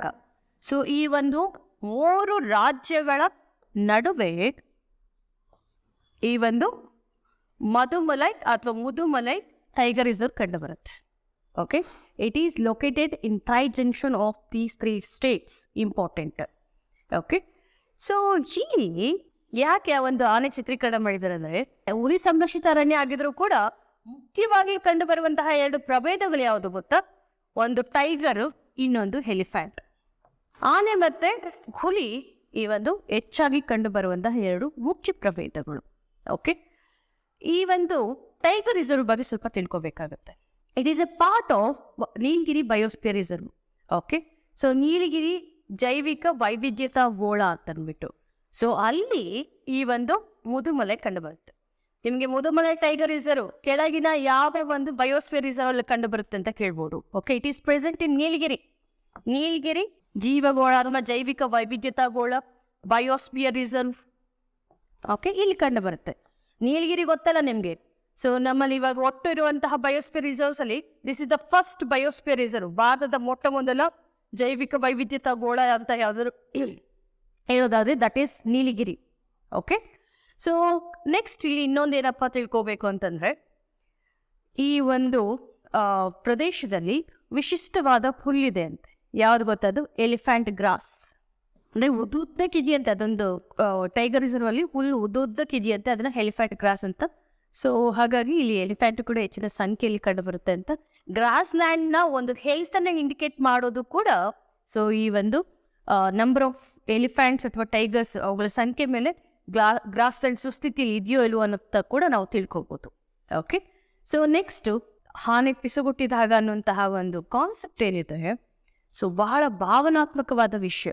ಓಕೆ ಸೊ ಒಂದು ಆನೆನ ಓಕೆ ತುಂಬ ರಕ್ತ ಸಿಗ್ದ ಆನೆ. ಓಕೆ ಗ, ನಾಯಿ ಅಟ್ಯಾಕ್ ಮಾಡಿ ಸೊ ಆನೆ full it's it has become wounded okay so ಗಾಯಗಳಾಗಿ ರಕ್ತ ಸುರಿತಾ ಇರುತ್ತೆ. ಅಂತಹ ಆನೆನ ರೆಸ್ಕ್ಯೂ ಮಾಡಿದಂತಹ ಬೆಳಿ. ಓಕೆ ಸೊ ಇಬ್ಬರು ಅಲ್ಲಿರುವಂತಹ ಆದಿವಾಸಿಗಳು. ಸೊ ಅದನ್ನು ತುಂಬ ಪ್ರೀತಿಯಿಂದ ಸೊ ವಿಶ್ವಾಸದಿಂದ ನೋಡ್ಕೊಳ್ತಾರೆ. ಸೊ ಆ ಒಂದು ಪ್ರಾಣಿ ಮತ್ತು ಮನುಷ್ಯರ ನಡುವಿರುವಂತಹ ಒಂದು ನಂಟು, ಬಾಂಧವ್ಯ. ಸೊ ಆ ಒಂದು ಪ್ರೀತಿಯನ್ನು ಅತ್ಯಂತ ಅಚ್ಚುಕಟ್ಟಾಗಿ ಸೊ ಈ ಒಂದು ಸಾಕ್ಷಿ ಚಿತ್ರದಲ್ಲಿ ತೋರಿಸಲಾಗಿದೆ. ಓಕೆ ಸೊ ಈಗ ನೆಕ್ಸ್ಟು ಕೆಲವು ಸೈನ್ಸ್ ಟಾಪಿಕ್ಸ್ ಈ ಒಂದು ವಾರದಲ್ಲಿರುವಂತಹ ವಿಜ್ಞಾನ ಮತ್ತು ತಂತ್ರಜ್ಞಾನದ ವಿಷಯಗಳನ್ನು ನೋಡೋಣ. ಸೊ ಇದು ಕೂಡ ಬಹಳ ಇಂಪಾರ್ಟೆಂಟ್ ಆಗುತ್ತೆ. ಸೊ ಅದರಲ್ಲಿ M R S K M ನೋಡಿ, ಸುದ್ದಿಯಲ್ಲಿರೋದು ಬಂದು ನಿರ್ಭಯ ಇದೆ ಮೆಗಾಟೋಪಿಕ್ಯೂ ಇದೆ. ಸೊ ಮತ್ತೆ ಎಚ್ ತ್ರೀ ಎನ್ ಟು ಇದೆ, ತುಂಬ important influenza fever okay so ಇದನ್ನು ನೆಕ್ಸ್ಟ್ ವಿಡಿಯೋದಲ್ಲಿ ಕವರ್ ಮಾಡ್ತಿದ್ದೀನಿ. ಸೊ ಇವಾಗ ಎಂ ಆರ್ ಎಸ್ ಎಂ ಅಥವಾ medium range surface to air ಸೈ ಮಧ್ಯಮ ವ್ಯಾಪ್ತಿಯ ಭೂಮಿಯಿಂದ ಆಕಾಶಕ್ಕೆ ಚಿಮ್ಮುವ ಕ್ಷಿಪಣಿ ಅಂತ. ಮಧ್ಯಮ ವ್ಯಾಪ್ತಿಯ ಭೂಮಿಯಿಂದ ಆಕಾಶಕ್ಕೆ ಚಿಮ್ಮುವಂತಹ ಕ್ಷಿಪಣಿ. ಓಕೆ ಮಧ್ಯಮ ವ್ಯಾಪ್ತಿ ಅಂತಂದ್ರೆ ಸೊ ಅದರ ರೇಂಜ್ ಓಕೆ ಸೊ ತುಂಬ ಹೈ ರೇಂಜ್ ಅಲ್ಲ ಅಥವಾ ಶಾರ್ಟ್ ರೇಂಜ್ ಅಲ್ಲ ಮಧ್ಯಮ ವ್ಯಾಪ್ತಿ. ಎಷ್ಟು ಅಂತಂದ್ರೆ it is thousand to three thousand kilometer so surface to air missile ಅಥವಾ ವ ಮೇಲ್ಮೈಯಿಂದ ಆಕಾಶಕ್ಕೆ ಚಿಮ್ಮೋ ಕ್ಷಿಪಣಿ ಓಕೆ ಸೊ ವ ಮೇಲ್ಮೈ ಅಂತಂದ್ರೆ, ನೋಡಿ ಭೂಮಿ ಮೇಲೆ ಒಂದು ಐ ಎನ್ ಎಸ್ ವಿಶಾಖಪಟ್ಟಣಂ ಅಂತ ಇರುತ್ತೆ ship okay I N S Visakhapatnam ಮೂಲಕ ಓಕೆ ಈ ನೇವಲ್ ಶಿಪ್ ಸೊ ವಿಶಾಖಪಟ್ಟಣಂ ಮೂಲಕ ಈ ಒಂದು ಕ್ಷಿಪಣಿಯನ್ನ ಉಡಾವಣೆ ಮಾಡಲಾಗುತ್ತೆ ಓಕೆ ಸೊ ಯಾವುದರಿಂದ ಉಡಾವಣೆ ಮಾಡ್ತಿದ್ವಿ M R S A M ಅಂತಂದ್ರೆ Visakhapatnam I N S Visakhapatnam ಮೂಲಕ okay I N S Visakhapatnam ಮೂಲಕ ಈ ಒಂದು ಕ್ಷಿಪಣಿಯನ್ನ ಲಾಂಚ್ ಮಾಡ್ತಿದ್ದೀವಿ ಸೊ ಇದನ್ನ ಡೆವಲಪ್ ಮಾಡಿದವರು ಯಾರು ಅಂತಂದ್ರೆ ಡಿ ಆರ್ ಡಿ ಒ ಮತ್ತೆ ಇಸ್ರೇಲ್ ಏರ್ ಸ್ಪೇಸ್ ಇಂಡಸ್ಟ್ರೀಸ್ ಅಂದ್ರೆ ನಿಮ್ಮ ಕ್ವಶನ್ ಯಾವ ರೀತಿ ಬರುತ್ತೆ ಅಂತಂದ್ರೆ, ಯಾವ ದೇಶದ ಸಹಯೋಗದೊಂದಿಗೆ ಮಧ್ಯಮ ವ್ಯಾಪ್ತಿಯ ಈ ಒಂದು ಕ್ಷಿಪಣಿ ಓಕೆ ಭೂಮಿಯಿಂದ ಆಕಾಶಕ್ಕೆ ಚಿಮ್ಮುವಂತಹ ಕ್ಷಿಪಣಿಯನ್ನ ಸೊ ಯಾವ ದೇಶದ ಸಹಯೋಗದೊಂದಿಗೆ ಭಾರತ ಅಭಿವೃದ್ಧಿಪಡಿಸಿದೆ ಅಂತ ಕೇಳ್ಬೋದು. India and Israel okay so ಇಸ್ರೇಲ್ನ Israel aerospace industries so ಇಂಡಿಯಾದ D R D O okay defence research development organisation ಭಾರತದಿಂದ. ಸೊ ಮತ್ತೆ ಇಸ್ರೇಲಿಯಿಂದ ಇಸ್ರೇಲ್ ಏರೋಸ್ಪೇಸ್ ಇಂಡಸ್ಟ್ರೀಸ್ ಸೊ ಇವೆಲ್ಲರ ಸಹಯೋಗದೊಂದಿಗೆ ಈ ಒಂದು ಕ್ಷಿಪಣಿಯನ್ನ ಲಾಂಚ್ ಮಾಡಿದ್ದೀನಿ. ಲಾಂಚ್ ಮಾಡಿ ಇದನ್ನ ವಾಯುಪಡೆಗೆ okay so inducted to air force ವಾಯುಪಡೆಗೆ ನಾವು ಇದನ್ನ ಸೇರ್ಪಡೆಗೊಳಿಸಿದ್ದೀವಿ okay inducted to air force ಅತ್ಯಾಧುನಿಕ ಶಸ್ತ್ರಾಸ್ತ್ರಗಳನ್ನ ಹೊಂದಿದೆ ಓಕೆ ಇದನ್ನ ಅಬ್ರಾ ವೆಪನ್ ಸಿಸ್ಟಮ್ ಅಂತ ಕೂಡ ಕರಿತೀವಿ. ಶಸ್ತ್ರಾಸ್ತ್ರ ವ್ಯವಸ್ಥೆ ಅಂತ. Abhra weapon system Abhra weapon system ಅಂತ ಯಾವ್ದನ್ನ ಕರಿತೀವಿ ಅಂತ ಕೇಳ್ತಾರೆ. ಓಕೆ ಸೊ ಈ ಒಂದು M R S A M M R S M ಅಂತಂದ್ರೆ ಮಧ್ಯಮ ವ್ಯಾಪ್ತಿಯ ಭೂಮಿಯಿಂದ ಆಕಾಶಕ್ಕೆ ಚಿಮ್ಮುವ ಕ್ಷಿಪಣಿ. ಓಕೆ ಸೊ ಅತ್ಯಾಧುನಿಕವಾದ ಶಸ್ತ್ರಾಸ್ತ್ರಗಳನ್ನು ಹೊಂದಿದೆ.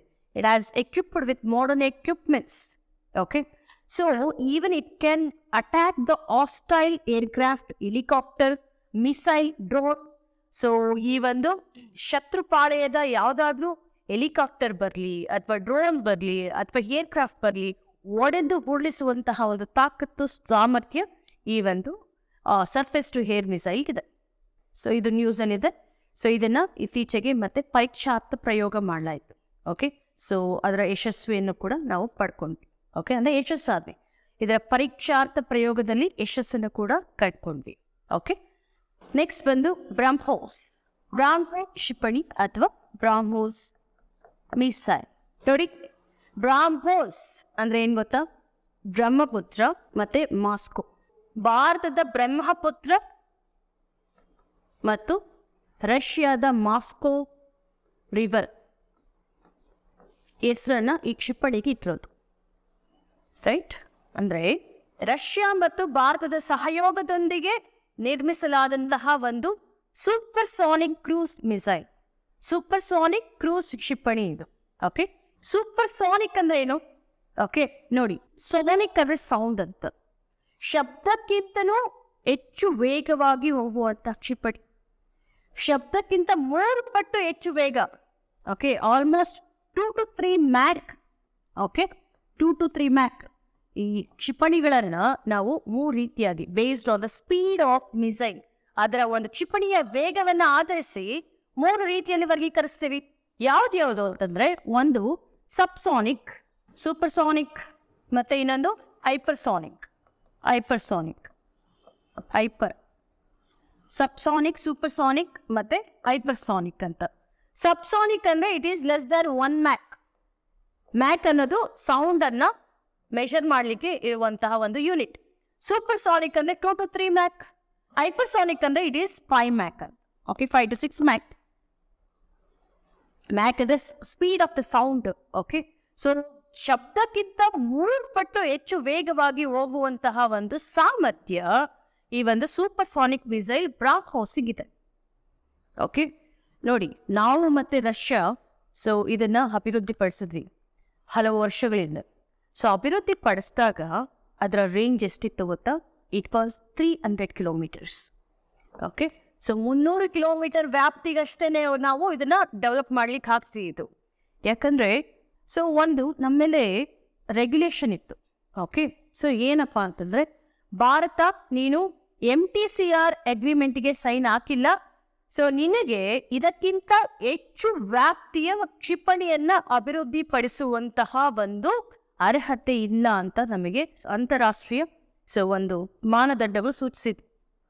ಓಕೆ ಸೊ ಈಗ ನಾವು M T C R missile technology control regime ಅಂತ. ಸೊ ಅದಕ್ಕೆ ಸೈನ್ ಹಾಕಿದ್ಮೇಲೆ ನಾನ್ನೂರೈವತ್ತು ಕಿಲೋಮೀಟರ್ ರೇಂಜ್ ಇರುವಂತಹ ಕ್ಷಿಪಣಿಯನ್ನು ಅಭಿವೃದ್ಧಿಪಡಿಸುವಂತಹ ಒಂದು ಮಾನ್ಯತೆಯನ್ನು ಪಡ್ಕೊಂಡಿದ್ದೀವಿ. ಓಕೆ ಮೊದಲಿಗಿರಲಿಲ್ಲ ಯಾಕೆಂದ್ರೆ ಎಂ ಟಿ ಸಿ ಆರ್ಗೆ ನಾವು ಸೈನ್ ಹಾಕಿರ್ಲಿಲ್ಲ. ಎಂ ಟಿ ಸಿ ಆರ್ಗೆ ಸೈನ್ ಭಾರತ ಹಾಕಿದ ಮೇಲೆ ಈಗ ಸೊ ರಷ್ಯಾ ಮತ್ತೆ ಭಾರತ ಸೊ ಇವೆರಡರ ಎರಡು ದೇಶದ ಸಹಯೋಗದೊಂದಿಗೆ ಈ ಒಂದು ಬ್ರಾನ್ ಹೋಗ್ ಕ್ಷಿಪಣಿಯನ್ನ ಅಭಿವೃದ್ಧಿಪಡಿಸ್ಕೊಂಡಿದ್ದೇವೆ. ಓಕೆ ಸೊ ಇವಾಗ ಪ್ರೆಸೆಂಟ್ ರೇಂಜ್ ಎಷ್ಟು ಅಂತ ಕೇಳಿದ್ರೆ four fifty kilometer it is a supersonic so ಮತ್ತೆ ಈ ಒಂದು ಮಿಸೈಲ್ಸ್ ಅಲ್ಲಿ ಎರಡು ವಿಧ ಕ್ರೂಸ್ ಮಿಸೈಲ್ಸ್ ಮತ್ತೆ ಬ್ಯಾಲಿಸ್ಟಿಕ್ ಮಿಸೈಲ್ ಅಂತ. ಸೊ ಬ್ರಾನ್ ಹೌಸ್ ಬಂದು ಕ್ರೂಸ್ ಮಿಸೈಲ್ ಓಕೆ ಸೊ ಮತ್ತೆ ಸೂಪರ್ ಸಾನಿಕ್ ಸೊ ಎರಡನ್ನು ಕೂಡ ತಿಳ್ಕೋಬೇಕು. ಸೊ ಮತ್ತೆ ಈ ಬ್ರಾನ್ನ ವಿಶೇಷತೆ ಏನಪ್ಪಾ ಅಂತಂದ್ರೆ ನೆಲದಿಂದನೂ ಉಡಾವಣೆ ಮಾಡ್ಬೋದು. ಓಕೆ ಹಡಗಿನಿಂದನೂ ಉಡಾವಣೆ ಮಾಡ್ಬೋದು. ಸೊ ಮತ್ತೆ ವಿಮಾನದಿಂದನೂ ಉಡಾವಣೆ ಮಾಡ್ಬೋದು. ಮತ್ತೆ ಜಲಂತರ್ಗಾಮಿ ಜಲಂತರ್ಗಾಮಿ ಅಂದ್ರೆ ಸಬ್ಮರೇನ್. ಓಕೆ ನೀರಿನ ಕೆಳಗಡೆ ಇರುತ್ತಲ್ಲ ಸೊ ಜಲಂತರ್ಗಾಮಿ. ಸೊ ಅಲ್ಲಿಂದ ಕೂಡ ನಾವು ಲಾಂಚ್ ಮಾಡ್ಬೋದು. ಪಿಕ್ಚರ್ಸ್ ಅಲ್ಲಿ ತೋರಿಸೋ ಹಾಗೆ. So it can be launch from ground from aircraft from submarine from ship so ಎಲ್ಲದರಿಂದನೂ ಉಡಾವಣೆ ಮಾಡಬಹುದು ಸೊ ಅಂತಹ ಒಂದು ಫ್ಲೆಕ್ಸಿಬಿಲಿಟಿ ಇದೆ, ನಮ್ಯತೆ ಇದೆ. ಓಕೆ ನೆಕ್ಸ್ಟು ಇದೊಂದು ಎರಡು ಹಂತದ, ಅಂದರೆ ಟೂ ಸ್ಟೇಜ್ ಮಿಸೈಲ್ ಅಂತ ಕರಿತೀವಿ. ಅಂದರೆ, ಆ ಫ್ಯೂಲನ್ನು ಸೊ ತುಂಬಿರ್ತೀವಲ್ಲ? ಸೊ ಅದನ್ನ ಸ್ಟೂ ಟೂ ಸ್ಟೇಜ್ ಅಂತ ಕರಿತೀವಿ. ಟೂ ಸ್ಟೇಜ್ ಸಾಲಿಡ್ ಮತ್ತು ಲಿಕ್ವಿಡ್ ಪ್ರೊಪಲೆಂಟ್ ಘನ ಮತ್ತು ದ್ರವ. ಲಿಕ್ವಿಡ್ ಪ್ರೊಪಲೆಂಟ್ ಅಂತ. ಸೊ ಘನ ಮತ್ತು ದ್ರವ ನೋಂದಣಕಾರಿ. ಎರಡು ಹಂತದ ಒಂದು ಕ್ಷಿಪಣಿ. ಸೊ ಇದರಲ್ಲಿ ರಾಮ್ ಜೆಟ್ ಇಂಜಿನ್ ಅನ್ನು ಅಳವಡಿಸಿರ್ತಾರೆ. Ramjet right is all about BrahMos okay so ನಿಮ್ಗೆಲ್ಲ ಗೊತ್ತಿರೋ ಹಾಗೆ ರೀಸೆಂಟ್ ಆಗಿ ಒಂದು ನೋಟಿಫಿಕೇಶನ್ ಆಗಿದೆ. ಯಾವುದಂದ್ರೆ ಅಕೌಂಟ್ ಅಸಿಸ್ಟೆಂಟ್ ಮತ್ತೆ ಜೂನಿಯರ್ ಅಕೌಂಟ್ ಅಸಿಸ್ಟೆಂಟ್ ಸೊ ಅದಕ್ಕೆ ಕ್ವಾಲಿಫಿಕೇಶನ್ ಬಂದು B B B A B com ಮತ್ತೆ B B M okay junior account ಅಸಿಸ್ಟೆಂಟ್ಗೆ P O C eligibility ಇದೆ. ಓಕೆ ಸೊ ಈ ಒಂದು ಎನ್ ಸಿ ಜಿ ಅಕಾಡೆಮಿ ವತಿಯಿಂದ ಏಪ್ರಿಲ್ ಎರಡರಿಂದ ಕ್ಲಾಸಸ್ಸು ಶುರುವಾಗಲಿದೆ. ಸೊ ಇಂಟ್ರೆಸ್ಟೆಡ್ ಕ್ಯಾಂಡಿಡೇಟ್ಸು ಈ ನಂಬರಿಗೆ ಕಾಂಟ್ಯಾಕ್ಟ್ ಮಾಡ್ಬೋದು. ಸೊ ಇನ್ನೊಂದು ವಿಶೇಷತೆ ಏನಪ್ಪ ಅಂತಂದರೆ, ಈ ನಿಮಗೆ ಆಫ್ಲೈನ್ ಆನ್ಲೈನ್ ಮತ್ತು ರೆಕಾರ್ಡೆಡ್ ಕ್ಲಾಸಸ್ ಎಲ್ಲ ಕೂಡ ಸಿಗುತ್ತೆ. Okay so thank you so military exercises ಅಥವಾ ಸೇನಾ ಸಮರಾಭ್ಯಾಸಗಳು ಕೂಡ ನ್ಯೂಸಲ್ಲಿರುತ್ತೆ ಸೊ ಅದು ಗ್ರೂಪ್ ಸಿ ಎಕ್ಸಾಮ್ಸ್ಗೆ ಇಂಪಾರ್ಟೆಂಟ್ ಆಗುತ್ತೆ. So bold Kurukshetra, La Perouse ಮತ್ತು ಎಂ ಪಿ ಎಕ್ಸ್ ಸೊ ಇತ್ತೀಚೆಗೆ ಲಾಸ್ಟ್ ಕಳೆದ ಒಂದು ವಾರದಿಂದ ನ್ಯೂಸಲ್ಲಿರುವಂಥದ್ದು ಓಕೆ ಬೋರ್ಡ್ ಕುರುಕ್ಷೇತ್ರ ನೋಡೋಣ. ಸೊ ಈ ಬೋರ್ಡ್ ಕುರುಕ್ಷೇತ್ರ ಇದೊಂದು ಸೇನಾ ಸಮರಾಭ್ಯಾಸ. Okay it's a military exercise military ಸೇನಾ ಸಮರಾಭ್ಯಾಸ. ಫಸ್ಟ್ ಆಫ್ ಆಲ್ ಸಮರಾಭ್ಯಾಸಗಳು ಏನು ನಡೆಯುತ್ತೆ ಅಂತಂದ್ರೆ ಎರಡು ದೇಶಗಳ ನಡುವೆ. ಸೊ ಆ ಒಂದು ಯುದ್ಧ ನೈಪುಣ್ಯತೆ ಓಕೆ ಕೌಶಲ್ಯಗಳನ್ನ ಪರಸ್ಪರ ವಿನಿಮಯ ಮಾಡ್ಕೊಳ್ಳೋದು ಓಕೆ ಸೊ ದೇಶಗಳ ನಡುವೆ ಸೊ ಆ ಒಂದು ನೈಪುಣ್ಯತೆ ಆಗಿರ್ಬೋದು ಅಥವಾ ಒಂದು, ಆ ಒಂದು ಕೌಶಲ್ಯ ಆಗಿರ್ಬೋದು. ಓಕೆ ಸೊ ತಜ್ಞತೆ ಆಗ್ಬೋದು. ಸೊ ಆ ಒಂದು ಇಂಟರ್ ಆಪರಬಿಲಿಟಿ ಸ್ಕಿಲ್ಸ್ ಅನ್ನ ಮ್ಯೂಚುವಲ್ ಆಗಿ ಪರಸ್ಪರ ಸೊ ಅವರು ಎಕ್ಸ್ಚೇಂಜ್ ಮಾಡ್ಕೊಳ್ಳುವಂಥದ್ದೇ ಈ ಒಂದು ಮಿಲಿಟರಿ ಎಕ್ಸರ್ಸೈಸ್ ಓಕೆ ಸೊ ಈಗ ಡಿಸಾಸ್ಟರ್ ಬಂದಾಗ ಅಥವಾ ನೈಸರ್ಗಿಕ ವಿಪತ್ತು ಬಂದಾಗ ಸೊ ಯಾವ ರೀತಿ ನಾವು ಅದನ್ನ ಸೊ ತಯಾರಿ ನಡೆಸ್ಕೋಬೇಕು? ಬಂದಾಗ ಬರೋಕ್ಕಿಂತ ಮುಂಚೆ ಸೊ ಅಥವಾ ಟೆರರಿಸ್ಟ್ ಅಟ್ಯಾಕ್ ಹಾಕಿಂತ ಮುಂಚೆ ಯಾವ ತಯಾರ, ತಯಾರಿ ನಡೆಸ್ಕೋಬೇಕು? ಒಂದ್ ವೇಳೆ ಅಟ್ಯಾಕ್ ಆದ್ಮೇಲೆ ಸೊ ಯಾವ ಥರ ಯಾವ್ಯಾವ ಸ್ಕಿಲ್ಸನ್ನು ಬಳಸಿ ನಾವು ಅವ್ರನ್ನ ಮಟ್ಟ ಹಾಕಬೇಕು? ಸೊ ಈ ಥರದ್ದೆಲ್ಲ.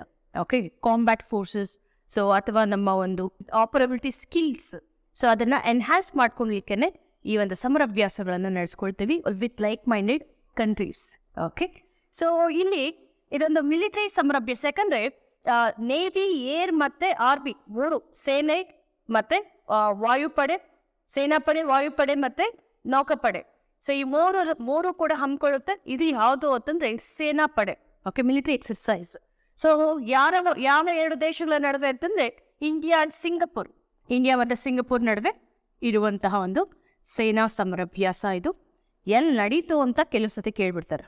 ಓಕೆ ಸೊ ಈಗ ಸ್ವಲ್ಪ ಎಕ್ಸಾಮ್ಸಲ್ಲೆಲ್ಲ ಕಾಂಪ್ಲಿಕೇಟ್ ಮಾಡ್ತಾರೆ. ಓಕೆ ಯಾಕೆ ಅಂತಂದ್ರೆ ಎಲ್ಲರೂ ಓದಿದ್ದನ್ನು ನೀವು ಓದ್ಕೊಂಡು ಹೋದ್ರೆ ಸೊ ಅವ್ರಿಗೆ ಎಲಿಮಿನೇಟ್ ಮಾಡ್ಲಿಕ್ಕೆ ಕಷ್ಟ ಆಗುತ್ತಲ್ವಾ? ಓಕೆ ಸೊ ಹಾಗಾಗಿ ಸ್ವಲ್ಪ ಒಂದು ಹಂತ ಸೊ ಡೆಪ್ತಿಗೆ ಕೇಳ್ತಾರೆ. ಓಕೆ ಎಲ್ಲಿ ನಡೀತು ಅಂತಂದ್ರೆ ರಾಜಸ್ಥಾನದ ಜೋಧ್ಪುರಲ್ಲಿ. ಓಕೆ ನೆಕ್ಸ್ಟ್ ಬಂದು ಲೇ ಪೆರೋಸ್ ಸೊ ಈ ಲೇ ಪೆರೋಸ್ ಈ ಒಂದು ಎಕ್ಸರ್ಸೈಸ್ ಇದು ಮಲ್ಟಿಲ್ಯಾಟ್ರಲ್ ಮಲ್ಟಿಲ್ಯಾಟ್ರಲ್ ಅಂತಂದರೆ ನೋಡಿ, ದ್ವಿಪಕ್ಷೀಯ ಇರುತ್ತೆ. ದ್ವಿಪಕ್ಷೀಯ ಅಂತಂದ್ರೆ ಎರಡು ದೇಶಗಳು ಹಮ್ಕೊಳ್ಳೋದು ಮಲ್ಟಿಲ್ಯಾಟ್ರಲ್ ಅಂತಂದ್ರೆ ಹಲವು ದೇಶಗಳು ಒಟ್ಟಿಗೆ ಒಂದು ಸಮರಾಭ್ಯಾಸವನ್ನು ಹಮ್ಮಿಕೊಳ್ತವೆ. ಸೊ ಇದೊಂದು ಮಲ್ಟಿಲ್ಯಾಟ್ರಲ್ ಎಕ್ಸರ್ಸೈಸ್ ಬಹುಪಕ್ಷೀಯ ಸಮರಾಭ್ಯಾಸ. ಸೊ ಎಲ್ಲಿ ನಡೀತು ಅಂದ್ರೆ ಹಿಂದೂ ಮಹಾಸಾಗರದಲ್ಲಿ ಓಕೆ ಇಂಡಿಯನ್ ಓಷನ್ ಸೊ ಇದರ ಉದ್ದೇಶ ಏನು ಅಂತಂದ್ರೆ, ಇಂಡೋ ಪೆಸಿಫಿಕ್ ಸಾಗರದ ಭಾಗದಲ್ಲಿ ಓಕೆ ಸೊ ಹೆಚ್ಚಿನ ಭದ್ರತೆ ಸೊ ಅಲ್ಲಿ ಸೊ ಒಂದು ಕಡಲ ಒಂದು ಗಳ್ತನ ಇರುತ್ತೆ, ಅಥವಾ ಒಂದು ಭಯೋತ್ಪಾದಕರು ಇರ್ತಾರೆ. ಸೊ ಅದಕ್ಕೋಸ್ಕರ ಭದ್ರತೆ ಬೇಕಾಗುತ್ತೆ, ಜಾಗೃತಿ ಬೇಕಾಗುತ್ತೆ. ಮತ್ತೆ ಅಲ್ಲಿರುವಂತಹ ದೇಶಗಳ ನಡುವೆ ಪರಸ್ಪರ ಸಾಗರೀಯ ಸಹಕಾರ maritime cooperation okay maritime cooperation between the countries so ಇದನ್ನ ಕೈಗೊಳ್ಳುವಂತಹ ದೇಶ ಯಾವುದು ಅಂತಂದ್ರೆ, ಫ್ರಾನ್ಸ್ ಓಕೆ ಸೊ ಫ್ರಾನ್ಸ್ ನೇತೃತ್ವದಲ್ಲಿ ಹಲವು ದೇಶಗಳು ಪಾಲ್ಗೊಳ್ಳುತ್ತೆ ಇದರಲ್ಲಿ ಭಾರತ ಕೂಡ ಪಾಲ್ಗೊಂಡಿದೆ. ಓಕೆ ಹಲವು ದೇಶಗಳು ಪಾಲ್ಗೊಳ್ಳುತ್ತವೆ. ಸೊ ಯಾರ ನೇತೃತ್ವದಲ್ಲಿ ನಡೆಯೋದು ಅಂತಂದ್ರೆ ಸೊ ಫ್ರಾನ್ಸ್ ನೇತೃತ್ವದಲ್ಲಿ. ಇದು ಎರಡು ವರ್ಷಕ್ಕೊಂದ್ಸರಿ ಆಗುತ್ತೆ. ಓಕೆ ದ್ವಿವಾರ್ಷಿಕ. ದ್ವೈವಾರ್ಷಿಕ ಅಂತಾರೆ ವರ್ಷಕ್ಕೆ ಎರಡು ಸತಿ ಆಗೋದು. Okay so it is biennial not biannual ಎರಡು ವರ್ಷಕ್ಕೊಂದ್ಸರಿ ಆಗುತ್ತೆ ಟೂ ಇಯರ್ಸ್ ಒನ್ಸ್ ಇದು ಎಷ್ಟನೇ ಆವೃತ್ತಿ ಅಂತಂದ್ರೆ so third edition recent start ಮಾಡಿರೋದು? ಥರ್ಡ್ ಎಡಿಷನ್ ಮೂರನೇ ಆವೃತ್ತಿ ಅಷ್ಟೇ. Okay this is about La Perouse next ಬಂದು maritime partnership exercise M P X ಕನ್ನಡದಲ್ಲಿ ಸಾಗರೀಯ ಸಹಭಾಗಿತ್ವ ಸಮರಭ್ಯಾಸ. ಓಕೆ ಎರಡು ದೇಶಗಳ ನಡುವೆ. ಯಾವುದಂದ್ರೆ ಇಂಡಿಯಾ ಮತ್ತೆ France okay so it took place between India and France ಎಲ್ಲಿ ನಡೀತು ಅಂತಂದ್ರೆ ಅರಬ್ಬಿ ಸಮುದ್ರದಲ್ಲಿ ಅರೇಬಿಯನ್ ಸಿ ಸೊ ಇದು ನಡೆದಿತ್ತು ಅರೇಬಿಯನ್ ಸಮುದ್ರದಲ್ಲಿ ಯಾವ ಎರಡು ದೇಶಗಳ ನಡುವೆ? ಇಂಡಿಯಾ ಮತ್ತೆ ಫ್ರಾನ್ಸ್. ಓಕೆ ಸೊ ಇಲ್ಲಿ ಭಾಗವಹಿಸಿದ್ ಯಾವುದು ಗೊತ್ತಾ? ಇದು ಇಲ್ಲಿ ಏನ್ ಕೇಳ್ತಾರೆ ಅಂತಂದ್ರೆ, ಈ ಒಂದು ಎಂ ಪಿ ಎಕ್ಸ್ ಸಮರಭ್ಯಾಸದಲ್ಲಿ ಭಾರತದಿಂದ ಭಾಗವಹಿಸಿದಂತಹ ಫ್ರಿಗೇಟ್ ಯಾವುದು ಅಂತನ್ಬಿಟ್ಟು. ಓಕೆ ಸೊ ಯಾವುದು ಅಂತಂದ್ರೆ, I N S Sahyadri. Okay I N S Sahyadri ಬಂದು it's a guided missile frigate. Okay so ಇದರಲ್ಲಿ ವರ್ಲ್ಡ್ ಕ್ಲಾಸ್ ಲೆವೆಲ್ ವೆಪನ್ಸ್ ಇದೆ. ವಿಶ್ವ ದರ್ಜೆಯ ಒಂದು ಶಸ್ತ್ರಾಸ್ತ್ರಗಳನ್ನ ಸೊ ಇದರಲ್ಲಿ ಅಳವಡಿಸಲಾಗಿದೆ ಐ ಎನ್ ಎಸ್ ಸಹ್ಯಾದ್ರಿಯಲ್ಲಿ ಓಕೆ ಸೊ ಇದೇನಪ್ಪ ಅಂತಂದ್ರೆ ನಿರ್ದೇಶಿತ ಕ್ಷಿಪಣಿಯ ಒಂದು ಫ್ರಿಗೇಟ್ ಕ್ಷಿಪಣಿ ಆಲ್ಮೋಸ್ಟ್ ಓಕೆ ಸೊ ಇದನ್ನ ನಾವು ಈ ಒಂದು ಕಾರ್ಯಾಚರಣೆಯಲ್ಲಿ ಅಥವಾ ಸಮರಭ್ಯಾಸದಲ್ಲಿ ಸೊ ಐ ಎನ್ ಎಸ್ ಸಹ್ಯಾದ್ರಿಯನ್ನು ಕಳಿಸಿದ್ವಿ. ಸೊ ಫ್ರಾನ್ಸ್ ನೌಕಾಪಡೆ ಡಿಕ್ಸ್ ಮೂಡಿ ಅಂತ ಅಂದ್ಬಿಟ್ಟು ನಾಟ್ ರಿಕ್ವೈರ್ಡ್ ನಿಮಗೆ ಅಷ್ಟೇನು ಇಂಪಾರ್ಟೆಂಟ್ ಅಲ್ಲ. ನಮ್ಮ ಇಂಡಿಯಾದ ನೀವು ನೋಡ್ಕೊಳ್ಳಿ. ಸೊ ಅವರು ಫ್ರಾನ್ಸ್ ಡಿಕ್ಸ್ ಮೂಡಿ, ನಮ್ಮ ಇಂಡಿಯಾದ ಒಂದು ಸಹ್ಯಾದ್ರಿ. ಸೊ ಇವೆರಡೂ ಕೂಡ ಈ ಒಂದು ನೌಕಾ ಸಮರಭ್ಯಾಸದಲ್ಲಿ ಪಾಲ್ಗೊಂಡಿದ್ವು.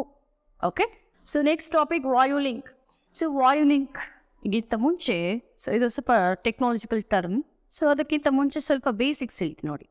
ಸೊ ಒಂದು ಫ್ಯಾಕ್ಟ್ರಿ ಸೈಡ್ ಅಂತಂದರೆ ಈ ವರ್ಡ್ ಅರ್ಥ killing your own brothers and sisters so ನಮ್ಮ ಅಣ್ತಮ್ಮಂದ್ರನ್ನ ನಮ್ಮ ಸಹೋದರನ್ನ ನಾವೇ ಸಾಯಿಸೋದು ಅಂತ. ಹೇಗೆ ಅಂದರೆ, ವಿಮಾನದಲ್ಲಿ ಹೋಗ್ತಾ ಇರ್ತೀವಿ ನಮ್ಮ ವಿಮಾನ ಇನ್ನದೇ, ಇನ್ನೊಂದು ಸೊ ಈ ಒಂದು ನಾಗರಿಕ ವಿಮಾನಕ್ಕೆ ಡಿಕ್ಕಿ ಹೊಡೆದು ಅಲ್ಲಿರುವಂತಹ ನಾಗರಿಕರು ಸಾವನ್ನಪ್ಪೋದು ಸೊ ಕೆಲವು ಸತಿ ಈ ಒಂದು ವಿಮಾನ it will collide with the ground ground collision so ಬಂದ ನೆಲೆ ಕಪ್ಪಳಿಸ್ಬಿಡುತ್ತೆ ಓಕೆ ಸೇಫ್ ಲ್ಯಾಂಡಿಂಗ್ ಆಗುತ್ತೆ. ಸೊ ಆಗ ಕೊಲಿಷನ್ ಆದಾಗ ಸೊ ನಮ್ಮವರೇ ಸತ್ತೋಗ್ತಾರೆ ಸೊ ಒಂದು ವೇಳೆ ನಮ್ಮದೇ ಒಂದು ಮಿಸೈಲ್ ಇರುತ್ತೆ, ಅದನ್ನೇ ಹೋಗಿ ನಾವು ಮತ್ತೆ ಶೂಟ್ ಮಾಡಿಬಿಡ್ಬೋದು. ಸೊ ಇದೆಲ್ಲದಕ್ಕೂ ಕಾರಣ ಏನು ಅಂದರೆ ಬ್ಯಾಡ್ ಸಿಗ್ನಲ್ಸ್ ಸಿಗ್ನಲ್ಸು ಸಕಾಲಿಕವಾಗಿ, ಸಂದರ್ಭೋಚಿತವಾಗಿ ಸಿಗದೇ ಇದ್ದಾಗ ಪೈಲಟ್ಗೆ ಸೊ ಇವೆಲ್ಲ ಅವಘಡಗಳು ಸಂಭವಿಸುವಂತಹ ಸಾಧ್ಯತೆ ಇರುತ್ತೆ. ಓಕೆ ಸೊ ಇದನ್ನು ತಪ್ಪಿಸ್ಲಿಕ್ಕೆ ಬ್ಯಾಡ್ ವೆದರ್ ಕಂಡೀಷನ್ ಇದ್ದಾಗ ಸೊ ವಾತಾವರಣ ಸ್ಪಷ್ಟವಾಗಿಲ್ಲ, ಮೋಡ ಕವಿದ ವಾತಾವರಣ ಇದೆ, ಮಳೆ ಇದೆ. ಸೊ ಅಂತಹ ಸಂದರ್ಭದಲ್ಲಿ ತುಂಬ ನಿಖರವಾಗಿ, ಸ್ಪಷ್ಟವಾಗಿ ಸೂಕ್ತವಾದ ದತ್ತಾಂಶಗಳನ್ನು ಒದಗಿಸ್ಲಿಕ್ಕೆ ಪೈಲಟ್ಗೆ ಒದಗಿಸ್ಲಿಕ್ಕೆ ಈ ಒಂದು ವಾಯು ಲಿಂಕ್ ಅನ್ನುವಂತಹ ಒಂದು ಟೆಕ್ನಾಲಜಿಯನ್ನು ಇಂಡಿಯನ್ ಏರ್ಫೋರ್ಸ್ ಡೆವಲಪ್ ಮಾಡಿದೆ. ಭಾರತೀಯ ವಾಯುಪಡೆ. ಓಕೆ ಸೊ ಈ ವಾಯುಪಡೆ ಡೆವಲಪ್ ಮಾಡಿದೆ. Mainly it it gives information about bad weather okay so ತುಂಬ ನಿಖರವಾದಂತಹ ಒಂದು ಮಾಹಿತಿ ದತ್ತಾಂಶನ ಒದಗಿಸುತ್ತೆ. ಅದ್ರ ಜೊತೆಗೆ it is jammer proof jammer proof ಅಂತಂದ್ರೆ ಸೊ ಸಿಗ್ನಲ್ಸ್ ಇಂಟ್ರಪ್ಟ್ ಆಗೋದಿಲ್ಲ. ಓಕೆ ಸತತವಾಗಿ, ನಿರಂತರವಾಗಿ ಸೊ ಸಿಗ್ನಲ್ಗಳು ಪೈಲಟ್ಗೆ ಸಿಗುತ್ತೆ. ಎಂತಹ ಬ್ಯಾಡ್ ಕಂಡೀಷನ್ ಇರ್ ಬ್ಯಾಡ್ ವೆದರ್ ಕಂಡೀಷನ್ ಇರಲಿ ಸೊ ನಿಖರವಾಗಿ ಮತ್ತು ನಿರಂತರವಾಗಿ ಸೊ ಪೈಲಟ್ಗೆ ಸಿಗ್ನಲ್ ಸಿಗ್ತಾ ಇರುತ್ತೆ. ಓಕೆ ಜಾಮ್ ಪ್ರೂಫ್ ಇರುತ್ತೆ ಜಾಮರ್ ಪ್ರೂಫ್ ಇರುತ್ತೆ.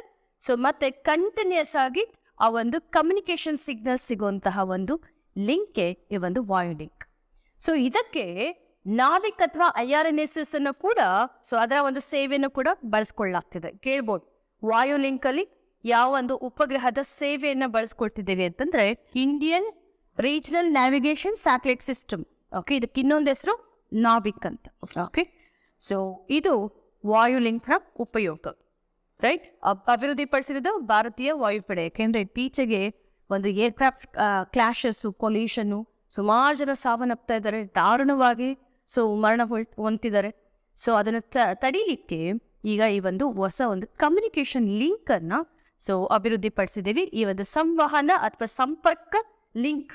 ಸೊ ಏನಪ್ಪ ಅಂತಂದ್ರೆ ಸೊ ನಿರಂತರವಾಗಿ ನಿಖರವಾದಂತಹ ಮಾಹಿತಿ ಅಥವಾ ಸಿಗ್ನಲ್ಗಳು ಎಂಥ ಬ್ಯಾಡ್ ಕಂಡೀಷನಲ್ಲೂ ಕೂಡ ಪೈಲಟ್ಗೆ ಸಿಗುತ್ತೆ. ಓಕೆ ಸೊ ಇತ್ತೀಚೆಗೆ ಕೆಲ ಹಲವಾರು ಯೋಜನೆಗಳನ್ನು ಕೇಂದ್ರ ಸರ್ಕಾರ ಜಾರಿಗೊಳಿಸಿದೆ. ವೆರಿ ಶಾರ್ಟ್ ಅಂದ್ರೆ ರೀಸೆಂಟ್ ಒನ್ ವೀಕಲ್ಲಿ ಇರುವಂತಹ ಸ್ಕೀಮ್ಗಳನ್ನ ಬ್ರೀಫ್ ಆಗಿ ಹೇಳ್ತೀನಿ. ಒಂದು ಪಿ ಎಂ ಮಿತ್ರ ಇನ್ನೊಂದು ಪಿ ಎಂ ವಿಕಾಸ್ ಇನ್ನೊಂದು MIDH so next lean scheme so ಇನ್ನೊಂದು reach out scheme so P M Mitra Mitra ಅಂತಂದ್ರೆ mega integrated textile and apparel region scheme ಅಂತ ಅಂದ್ಬಿಟ್ಟು ಓಕೆ ಸೊ ಇದನ್ನು ಜಾರಿಗೊಳಿಸಿರುವಂಥ ಸಚಿವಾಲಯ ಬಂದು ಸೊ ಮಿನಿಸ್ಟ್ರಿ ಆಫ್ ಟೆಕ್ಸ್ಟೈಲ್ಸ್ ಜವಳಿ ಸಚಿವಾಲಯ. ಓಕೆ ಪಿ ಎಂ ಮಿತ್ರನ ಜವಳಿ ಸಚಿವಾಲಯ ಜಾರಿಗೊಳಿಸಿದೆ. ಸೊ ಈ ಒಂದು ಜವಳಿ ವಲಯ ಏನಿದೆ? ಓಕೆ ಸೊ ಇದು ಉದ್ಯೋಗವನ್ನು ಸೃಷ್ಟಿಸುತ್ತಿರುವಂಥ ಅತ್ಯಂತ ದೊಡ್ಡ ಕ್ಷೇತ್ರ. ಸೊ ಇದನ್ನ, ಇದರ ಒಂದು ಬಲವರ್ತನೆಗಾಗಿ to strengthen the textile sector ಜವಳಿ ಕ್ಷೇತ್ರದ ಬಲವರ್ತನೆಗಾಗಿ ಸೊ ಅದರ ಒಂದು ಉತ್ಪಾದನೆ, ರಫ್ತು ಸೊ ಇದೆಲ್ಲದರೂ ಕೂಡ ಹೂಡಿಕೆ, ಎಲ್ಲದನ್ನು ಹೆಚ್ಚಿಸ್ಲಿಕ್ಕೆ ಸಮಗ್ರವಾಗಿ ಜವಳಿ ವಲಯದ ಒಂದು ಅಭಿವೃದ್ಧಿಗಾಗಿ ಪಿ ಎಂ ಮಿತ್ರ ಸ್ಕೀಮನ್ನು ತಂದಿರೋದು.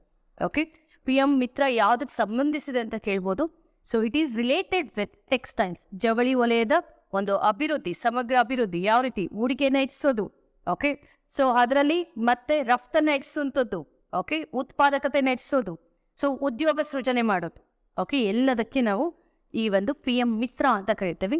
ಸೊ ಇನ್ನೊಂದು ಇಂಪಾರ್ಟೆಂಟ್ ಏನಪ್ಪ ಅಂತಂದ್ರೆ P M Mitra mega park ಸ್ಕೀಮಲ್ಲಿ so ಏಳು ಕಡೆ Maharashtra A P Telangana so ಮತ್ತೆ ಕರ್ನಾಟಕ ಸೇರಿದಾಗೆ ಏಳು ಕಡೆ ಈ ಒಂದು ಪಾರ್ಕ್ಗಳನ್ನು ಎಸ್ಟಾಬ್ಲಿಷ್ ಮಾಡಲಾಗಿದೆ. ಮತ್ತೆ ಇಲ್ಲೊಂದು ಫೈವ್ ಎಫ್ ಅಂತ ಬರುತ್ತೆ. ಏನಪ್ಪ ಅಂದರೆ ಫಾರ್ಮ್ ಫಾರ್ಮ್ ಅಂತಂದ್ರೆ ಸೊ ನಮ್ಮ ಒಂದು ಕೃಷಿ ಭೂಮಿ. Farm to fibre. So fibre ಅಂತಂದ್ರೆ ಕಾಟನ್ ಅಲ್ವಾ?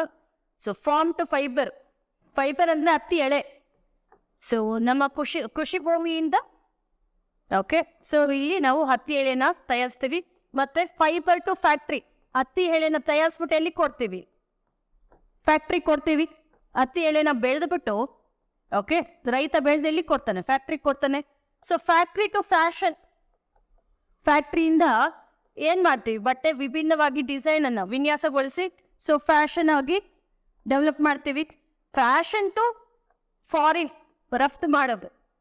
Fashion to foreign so question ಯಾವ ರೀತಿ ಬರ್ಬೋದು ಅಂದ್ರೆ five F so farm fibre factory fashion so ಮತ್ತೆ ಲಾಸ್ಟ್ ಬಂದು ಫಾರಿನ್ ಸೊ ಈ ಒಂದು ರೈತರಿಗೆ ಫಸ್ಟ್ ಹೆಲ್ಪ್ ಮಾಡ್ಬೇಕು. ಹತ್ತಿ ಬೆಳಿಲಿಕ್ಕೆ, ಹತ್ತಿ ಅಲ್ವಾ? ಜವಳಿಗೆ, ಜವಳಿ ಒಂದು ಉದ್ಯಮಕ್ಕೆ ಮೂಲ ಕಚ್ಚಾ ಪದಾರ್ಥ.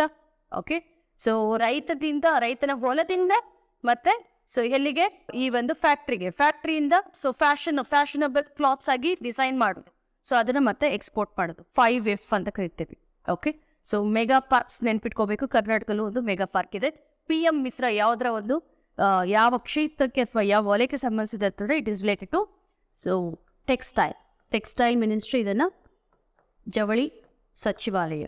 ಸೊ ಪಿ ಎಂ ವಿಕಾಸ್ ಅಂದ್ರೆ ಪ್ರಧಾನ ಮಂತ್ರಿ ವಿಶ್ವಕರ್ಮ ಕೌಶಲ್ ಸಮ್ಮಾನ್ ಯೋಜನಾ ಅಂತ.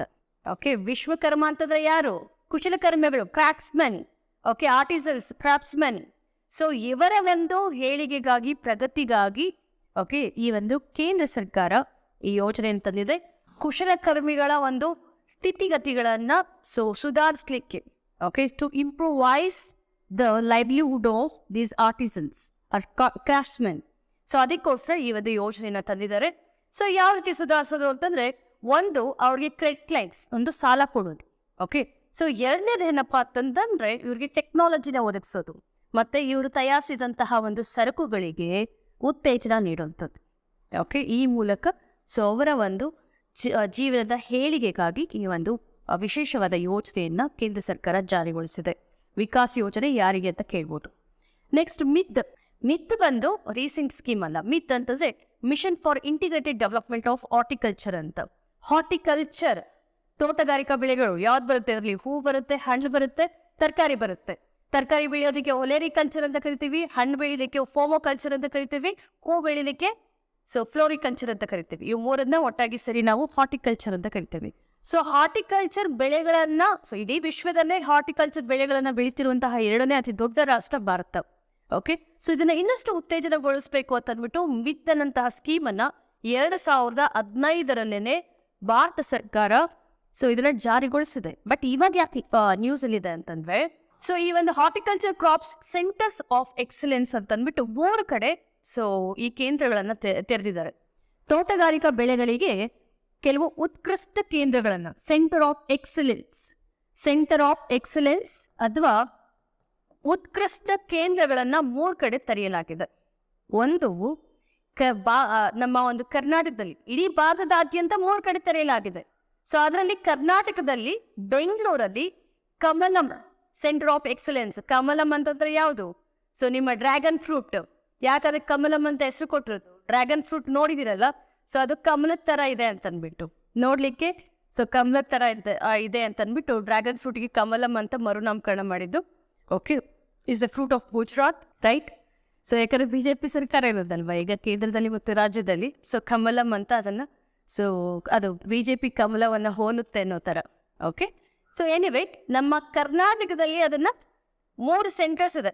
ಸೊ ಈ ಒಂದು ಸೆಂಟರ್ ಆಫ್ ಎಕ್ಸಲೆನ್ಸ್ ಅನ್ನ ದೇಶದಾದ್ಯಂತ ಮೂರು ಕಡೆ ತೆರೆಯಲಾಗಿದೆ ಓಕೆ ಮಿತ್ ಸ್ಕೀಮ್ ಅಲ್ಲಿ.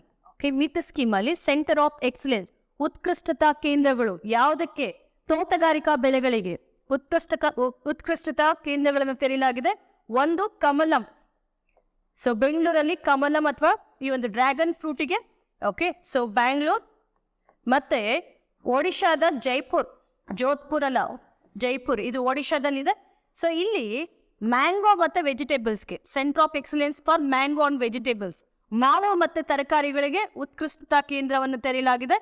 ಸೊ ನೆಕ್ಸ್ಟ್ ಬಂದು ಸೌತ್ ಗೋವಾ ದಕ್ಷಿಣ ಗೋವಾದಲ್ಲಿ ಫ್ಲವರ್ಸ್ ಮತ್ತು ವೆಜಿಟೇಬಲ್ಸ್ ಹೂ ಮತ್ತು ತರಕಾರಿಗಳ ಉತ್ಕೃಷ್ಟ ಕೇಂದ್ರ. ಸೊ ನಿಮಗೆ ಕ್ವಶನ್ ಬರೋದಾದ್ರೆ ಏನ್ ಕೇಳ್ತಾರೆ ಗೊತ್ತಾ? ಈ ಒಂದು ಮಿತ್ ಮಿತ್ ಅಂತಂದ್ರೆ mission for integrated development of horticulture so ತೋಟಗಾರಿಕಾ ಬೆಳೆಗಳ ಒಂದು ಸಮಗ್ರ ಅಭಿವೃದ್ಧಿ ಯೋಜನೆ ಅಂತ. ಓಕೆ ಸೊ ಈ ಒಂದು ಸ್ಕೀಮ್ ಮಾಡಿ ಮಿತ್ ಸ್ಕೀಮ್ ಮಾಡಿ ಸೊ ಕರ್ನಾಟಕದಲ್ಲಿ, ಬೆಂಗಳೂರಲ್ಲಿ ಯಾವ ಒಂದು ಉತ್ಕೃಷ್ಟ ಕೇಂದ್ರವನ್ನ ತೆರೆದಿದ್ದಾರೆ ಅಂತ ಕೇಳ್ಬೋದು. ಸೊ ಅದು ಯಾವ್ದು ಅಂತಂದ್ರೆ ಕಮಲಂ ಅಥವಾ ಡ್ರ್ಯಾಗನ್ ಫ್ರೂಟ್. ಓಕೆ ಡ್ರ್ಯಾಗನ್ ಫ್ರೂಟಿಗೆ ಅಂತ ಅಂದ್ಬಿಟ್ಟು ಸೊ ಒಂದು ಉತ್ಕೃಷ್ಟ ಕೇಂದ್ರವನ್ನ ತೆರೆದಿದ್ದಾರೆ. ಸೊ ಯಾರನ್ನ ಫಾದರ್ ಆಫ್ ಹಾರ್ಟಿಕಲ್ಚರ್ ಅಂತ ಕರಿತೀವಿ? ಡಾಕ್ಟರ್ ಮರಿಗೌಡ. ಓಕೆ ಸೊ ನಮ್ಮ ಕರ್ನಾಟಕದವರೇ ಅವರು. ನೆಕ್ಸ್ಟ್ ಬಂದು ಲೀನ್ ಸ್ಕೀಮ್ ಈ ಲೀನ್ ಸ್ಕೀಮನ್ನು ಯಾರು ಇಂಪ್ಲಿಮೆಂಟ್ ಮಾಡಿದ್ದಾರೆ ಅಂದರೆ ministry of micro small and medium enterprises okay ಸೂಕ್ಷ್ಮ, ಸಣ್ಣ ಮತ್ತು ಮಧ್ಯಮ ಕೈಗಾರಿಕೆಗಳ ಸಚಿವಾಲಯ. ಸೊ ಏನಪ್ಪಾ ಅಂತಂದ್ರೆ, ಈ ಒಂದು ಸೂಕ್ಷ್ಮ ಕೈಗಾರಿಕೆಗಳು ಅಥವಾ ಗುಡಿ ಕೈಗಾರಿಕೆಗಳು ಓಕೆ ಮಧ್ಯಮ ಕೈಗಾರಿಕೆಗಳು. ಸೊ ಇವುಗಳೆಲ್ಲ ಮೂಲೆ ಗುಂಪಾಗ್ತಿದ್ದಾವೆ. ಇವುಗಳ ಉತ್ಪಾದನೆ, ಉತ್ಪಾದಕತೆ ತುಂಬಾ ಕಡಿಮೆ ಆಗ್ತಾ ಇದೆ. ಸೊ ಆ ನಿಟ್ಟಿನಲ್ಲಿ ಸರ್ಕಾರ ಸತತವಾಗಿ ಅದಕ್ಕೆ ಪ್ರೋತ್ಸಾಹ ನೀಡ್ತಾನೆ ಬರ್ತಿದೆ. Okay so holistic development of this M S M E sector is done by this lean scheme M S M ಇಗಳ quality productivity performance ಇವೆಲ್ಲದನ್ನು ವೃದ್ಧಿಸಿ ಓಕೆ ಅದರ ಒಂದು ಗುಣಮಟ್ಟ, ಉತ್ಪಾದಕತೆ ಸೊ ಅವುಗಳ ಒಂದು ಪ್ರಗತಿ ಎಲ್ಲದನ್ನು ವೃದ್ಧಿಸಿ ಸೊ ಒಂದು ಗ್ಲೋಬಲ್ ಕಾಂಪಿಟೇಟಿವ್ನೆಸ್ ಅದಕ್ಕೆ ಒದಗಿಸ್ಬೇಕು ಅಂತ. ಒಂದು ವಿಶ್ವ ಮಟ್ಟಕ್ಕೆ ಸೊ ಅದು ಸ್ಪರ್ಧಾತ್ಮಕವಾಗಿ ಈ ಒಂದು ಎಂ ಎಸ್ ಎಂ ಇ ಉದ್ಯಮಗಳು ಸೊ ನಿಲ್ಲಬೇಕು ಅನ್ನುವಂತಹ ದೃಷ್ಟಿಯಿಂದ ಲೀನ್ ಸ್ಕೀಮ್ ಅನ್ನ ಜಾರಿಗೊಳಿಸಲಾಗಿದೆ. ಓಕೆ ಸೊ ನೆಕ್ಸ್ಟ್ ಬಂದು ಸ್ಕೀಮ್ ರೀಚ್ ಔಟ್ ಅಥವಾ reach out scheme so scheme reach out ಅನ್ನ ಭೂ ವಿಜ್ಞಾನ ಸಚಿವಾಲಯ ಅಥವಾ ಮಿನಿಸ್ಟ್ರಿ ಆಫ್ ಅರ್ಥ್ ಸೈನ್ಸ್ ಇದನ್ನ ಜಾರಿಗೊಳಿಸಿದೆ. ಓಕೆ ಸೊ ಇದೇನಪ್ಪಾ ಅಂತಂದ್ರೆ, ನೋಡಿ, ಶಿಕ್ಷಣ ಸಂಶೋಧನೆ ಮತ್ತು ತರಬೇತಿ. ಸೊ ಈ ಮೂರಕ್ಕೂ ಹೆಚ್ಚಿನ ಒತ್ತನ್ನು ಕೊಡೋದು ಈ ಇಲಾಖೆಯಲ್ಲಿ, ಈ ಒಂದು ಡಿಪಾರ್ಟ್ಮೆಂಟ್ ಅಲ್ಲಿ. ಎಜುಕೇಶನ್ ರಿಸರ್ಚ್ ಅಂಡ್ ಟ್ರೈನಿಂಗ್ ಶಿಕ್ಷಣ, ಸಂಶೋಧನೆ ಮತ್ತು ತರಬೇತಿ. ಸೊ ಇವುಗಳಿಂದ ಸೊ ಈ ಒಂದು ಇಲಾಖೆಯಲ್ಲಿ ಉತ್ಪಾದಕತೆ ಹೆಚ್ಚಾಗುತ್ತೆ. ಸೊ ಸರ್ಕಾರದ ಒಂದು ಖಜಾನೆ ಕೂಡ ತುಂಬುತ್ತೆ. ಸೊ ಅಷ್ಟೇ ಅಲ್ಲ ಸೊ ನೂತನ ಸ, ನಾವೀನ್ಯ ಸಂಶೋಧನೆಗಳಾದಂತೆಲ್ಲ ಸೊ ಮತ್ತೆ ಅವರಿಗೆ ಒಂದು ತರಬೇತಿ, ಸೂಕ್ತ ತರಬೇತಿ. ಓಕೆ ಭೂ ವಿಜ್ಞಾನ ಇಲಾಖೆಯಲ್ಲಿ ಕೆಲಸ ಮಾಡುವಂಥವ್ರಿಗೆಲ್ಲ ಸೊ ಉತ್ತಮ ತರಬೇತಿ ಸಿಗೋದ್ರ ಮೂಲಕ ಓಕೆ ಸೊ ಒಂದು ಒಳ್ಳೆ ಉದ್ಯೋಗ ಅವಕಾಶ ಸೃಷ್ಟಿಯಾಗುತ್ತೆ ಅನ್ನೋ ನಿಟ್ಟಿನಲ್ಲಿ ರೀಚ್ ಔಟ್ ಸ್ಕೀಮ್ ಅನ್ನು ತಂದಿದ್ದಾರೆ. Especially it is a collaboration between government industries and educational institutions okay ಶೈಕ್ಷಣಿಕ ಸಂಸ್ಥೆಗಳು ಓಕೆ ಒಳ್ಳೆ ಎಜುಕೇಷನ್ ಸೊ ಭೂ ಇಲಾಖೆಗೆ ಸಂಬಂಧಿಸಿದಂತಹ ಉತ್ತಮವಾದ ಗುಣಮಟ್ಟವಾದ ಶಿಕ್ಷಣ ಒದಗಿಸೋದು academic institutions okay so next ಕೈಗಾರಿಕೆಗಳು ಓಕೆ ಕೈಗಾರಿಕೆಗಳು ಅವ್- ಅವ್ರಿಗೆ ಸೂಕ್ತವಾದ ಉದ್ಯೋಗ. ಸೊ ಸರ್ಕಾರ ಉತ್ತಮವಾದಂತಹ ತರಬೇತಿ, ಕೌಶಲ್ಯವನ್ನು ಒದಗಿಸ್ಬೇಕು. ಸೊ ಈ ನಿಟ್ಟಿನಲ್ಲಿ ಇವತ್ತು ಭೂ ವಿಜ್ಞಾನ ಇಲಾಖೆಯಲ್ಲಿ ಉತ್ತಮವಾದ ಉತ್ಪಾದಕತೆಯನ್ನ ಸೃಷ್ಟಿಸಲು ಈ ಒಂದು ಸ್ಕೀಮ್ ತಂದಿದ್ದಾರೆ. ಸೊ ಕೇಳ್ಬೋದು ನಿಮಗೆ ರೀಚ್ ಔಟ್ ಅನ್ನ ಜಾರಿಗೊಳಿಸಿರುವಂತಹ ಒಂದು ಸೊ ಸಚಿವಾಲಯ ಯಾವುದು ಅಂತ ministry of earth science okay ಭೂ ವಿಜ್ಞಾನ ಸಚಿವಾಲಯ.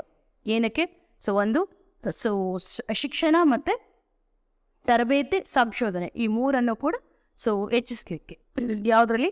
ಈ ಭೂ ವಿಜ್ಞಾನ ಕ್ಷೇತ್ರದಲ್ಲಿ. ಓಕೆ ನೆಕ್ಸ್ಟ್ ಬಂದು ರಾಜ್ಯ ಮಟ್ಟದ ಸುಗಮ ಸಂಗೀತ ಸಮ್ಮೇಳನ ನಡೀತು. ಸೊ ಇನ್ನು ಕರ್ನಾಟಕ ಇಶ್ಯೂಸನ್ನು ಡಿಸ್ಕಸ್ ಮಾಡ್ತೀನಿ. ಓಕೆ ಸೊ ಸುಗಮ ಸಂಗೀತ ಸಮ್ಮೇಳನ ಎಲ್ಲಿ ನಡೀತು ಅಂತಂದ್ರೆ, ರಾಗಿ ಕಣಜ ಅಂತ ಯಾವುದನ್ನು ಕರಿತೀವಿ ನಾವು? ಓಕೆ ಭತ್ತದ ಕಣಜ ಗೊತ್ತಿದೆ ನಿಮಗೆ? ಸೊ ಅದೇ ತರ ಈ ಒಂದು ತೊಗರಿ ಕಣಜ ಗೊತ್ತಿದೆ. ಸೊ ರಾಗಿ ಕಣಜ ಅಂತ ಯಾವ್ದನ್ನು ಕರಿತೀವಿ ಆನೆಕಲ್ನಲ್ಲಿ okay so which took place in Anekal. So ಆನೆಕಲ್ಲಲ್ಲಿ ಇದನ್ನ ರಾಗಿ ಕಣಜ ಅಂತ ಕರಿತೀವಿ. ಸೊ ಈ ಒಂದು ರಾಜ್ಯ ಮಟ್ಟದ ಸುಗಮ ಸಂಗೀತ ಸಮ್ಮೇಳನ. ಸೊ ಆನೆಕಲ್ಲಲ್ಲಿ ನಡೀತು. So N H Prasad Prasad ಇದರ ಅಧ್ಯಕ್ಷತೆ ವಹಿಸಿದ್ರು. ಇವರು ಮ್ಯಾಂಡಲಿನ್ನ ವಾದಕ. ಓಕೆ ಮ್ಯಾಂಡಲಿನ್ನ ವಾದಕ. ಸೊ ಇದನ್ನ ಹಮ್ಮಿಕೊಂಡವ್ರು ಯಾರು ಅಂತಂದ್ರೆ ಆಬ್ವಿಯಸ್ಲಿ ಒಂದು ಸೊ ಕರ್ನಾಟಕ ಸುಗಮ ಸಂಗೀತ ಪರಿಷತ್ ಮತ್ತೆ ಕನ್ನಡ ಸಂಸ್ಕೃತಿ ಇಲಾಖೆ. ಓಕೆ ಕನ್ನಡ ಮತ್ತು ಸಂಸ್ಕೃತಿ ಇಲಾಖೆ. So joint collaboration of Kannada and culture department and so Karnataka Sugama Sangeetha Parishat. Okay ಸುಗಮ ಸಂಗೀತ ಪರಿಷತ್ ಬಂದು ಎರಡ್ ಸಾವಿರದ ಮೂರಲ್ಲೇನೆ ಎಸ್ಟಾಬ್ಲಿಷ್ ಆಗೋದು. ಓಕೆ ಸೊ ಇದರ ಒಂದು ಪಿತಾಮಹ, ಸುಗಮ ಸಂಗೀತದ ಪಿತಾಮಹ ಯಾರನ್ನು ಕರಿತೀವಿ ಉಕ್ಕೇರಿ ಬಾಳಪ್ಪ. ಸೊ ಇವರನ್ನ ಸುಗಮ ಸಂಗೀತದ ಪಿತಾಮಹ ಅಂತ ಕರಿತೀವಿ. ಸೊ ನಮ್ಗೆ ಇನ್ನು ಗೊತ್ತೇ ಇದೆ ಸಿ ಅಶ್ವಥ್ ಮತ್ತು ಅನಂತ ಸ್ವಾಮಿ ಅವರು. ಸೊ ಈ ಒಂದು ಸುಗಮ ಸಂಗೀತಕ್ಕೆ ಬಹಳಷ್ಟು ಜನಪ್ರಿಯತೆಯನ್ನು ತಂದುಕೊಟ್ಟವರು. ಓಕೆ ಸೊ ಸುಗಮ ಸಂಗೀತ ಜನರ ಮನದ ಒಂದು ಭಾವಗಳ ಮೇಳ ಅಂತಾನೆ ಹೇಳ್ಬೋದು. ಕವಿ ಮನಸ್ಸನ್ನ ಜನರಿಗೆ ತಲುಪಿಸುತ್ತೆ. ಸೊ ಈ ಒಂದು ಭಾವನೆಗಳ ಮೂಲಕ ಜನರನ್ನ ಒಗ್ಗೂಡಿಸುತ್ತೆ. ಸುಗಮ ಸಂಗೀತ ಕೇಳ್ತಾ ಇರಿ. ಸೊ ಕಿವಿಗೆ ಹಿಂಪು, ಮನಸ್ಸಿಗೆ ತಂಪು. ಓಕೆ ಸೊ ಬಹಳ ಖುಷಿ ಕೊಡುವಂಥದ್ದು. ರೈಟ್ ಈ ಸುಗಮ ಸಂಗೀತ ಅಧ್ಯಕ್ಷರು ಯಾರು ಅಂತಂದ್ರೆ, ಆ ಒಂದು ಮಂಡಳಿಯ ಅಧ್ಯಕ್ಷರು, ಪ್ರಸ್ತುತ ಯಾರು ಅಂದ್ರೆ ಮುದ್ದು ಕೃಷ್ಣ. ಸೊ ನಿಮಗೆ ರಾಗಿ ಕಣಜ ಆನೆಕ್ ಆನೆಕನ್ ಸೊ ಇದು ಇಂಪಾರ್ಟೆಂಟ್ ಎಲ್ಲಿ ನಡೀತು ಅಂತ ಕೇಳ್ಬೋದು? ಸೊ ಅಥವಾ ಅಧ್ಯಕ್ಷತೆ ಯಾರು ವಹಿಸಿದ್ರು ಅಂತ. ಸೊ ಉದ್ಘಾಟನೆ ಮಾಡಿದ್ರು ದೊಡ್ಡರಂಗೇಗೌಡರು ಉದ್ಘಾಟನೆ ಕೇಳೋದಿಲ್ಲ, ಅಧ್ಯಕ್ಷತೆ ಕೇಳ್ತಾರೆ. ಓಕೆ ಸೊ ನೆಕ್ಸ್ಟ್ ಗಾಂಧಿ ಗ್ರಾಮ ಪುರಸ್ಕಾರ. ಈ ಗಾಂಧಿ ಗ್ರಾಮ ಪುರಸ್ಕಾರ ಕೊಡುವಂತಹ ಇಲಾಖೆ ಬಂದು ಓಕೆ ಕರ್ನಾಟಕ ಸರ್ಕಾರದ ಯಾವ ಇಲಾಖೆ ಅಂತಂದ್ರೆ ಡಿಪಾರ್ಟ್ಮೆಂಟ್ ಆಫ್ ರೂರಲ್ ಡೆವಲಪ್ಮೆಂಟ್ ಗ್ರಾಮೀಣಾಭಿವೃದ್ಧಿ ಇಲಾಖೆ ಯಾರಿಗೆ ಕೊಡ್ತಾರೆ ಅಂದ್ರೆ ಒಂದು ತಾಲೂಕಲ್ಲಿ ಒಂದು ಗ್ರಾಮ ಪಂಚಾಯಿತಿಯನ್ನು. ಸೊ ಅದು ಎಂತಹ ಗ್ರಾಮ ಪಂಚಾಯಿತಿ? ಅತ್ಯುನ್ನತವಾದ ಸಾಧನೆ ಮಾಡಿರಬೇಕು.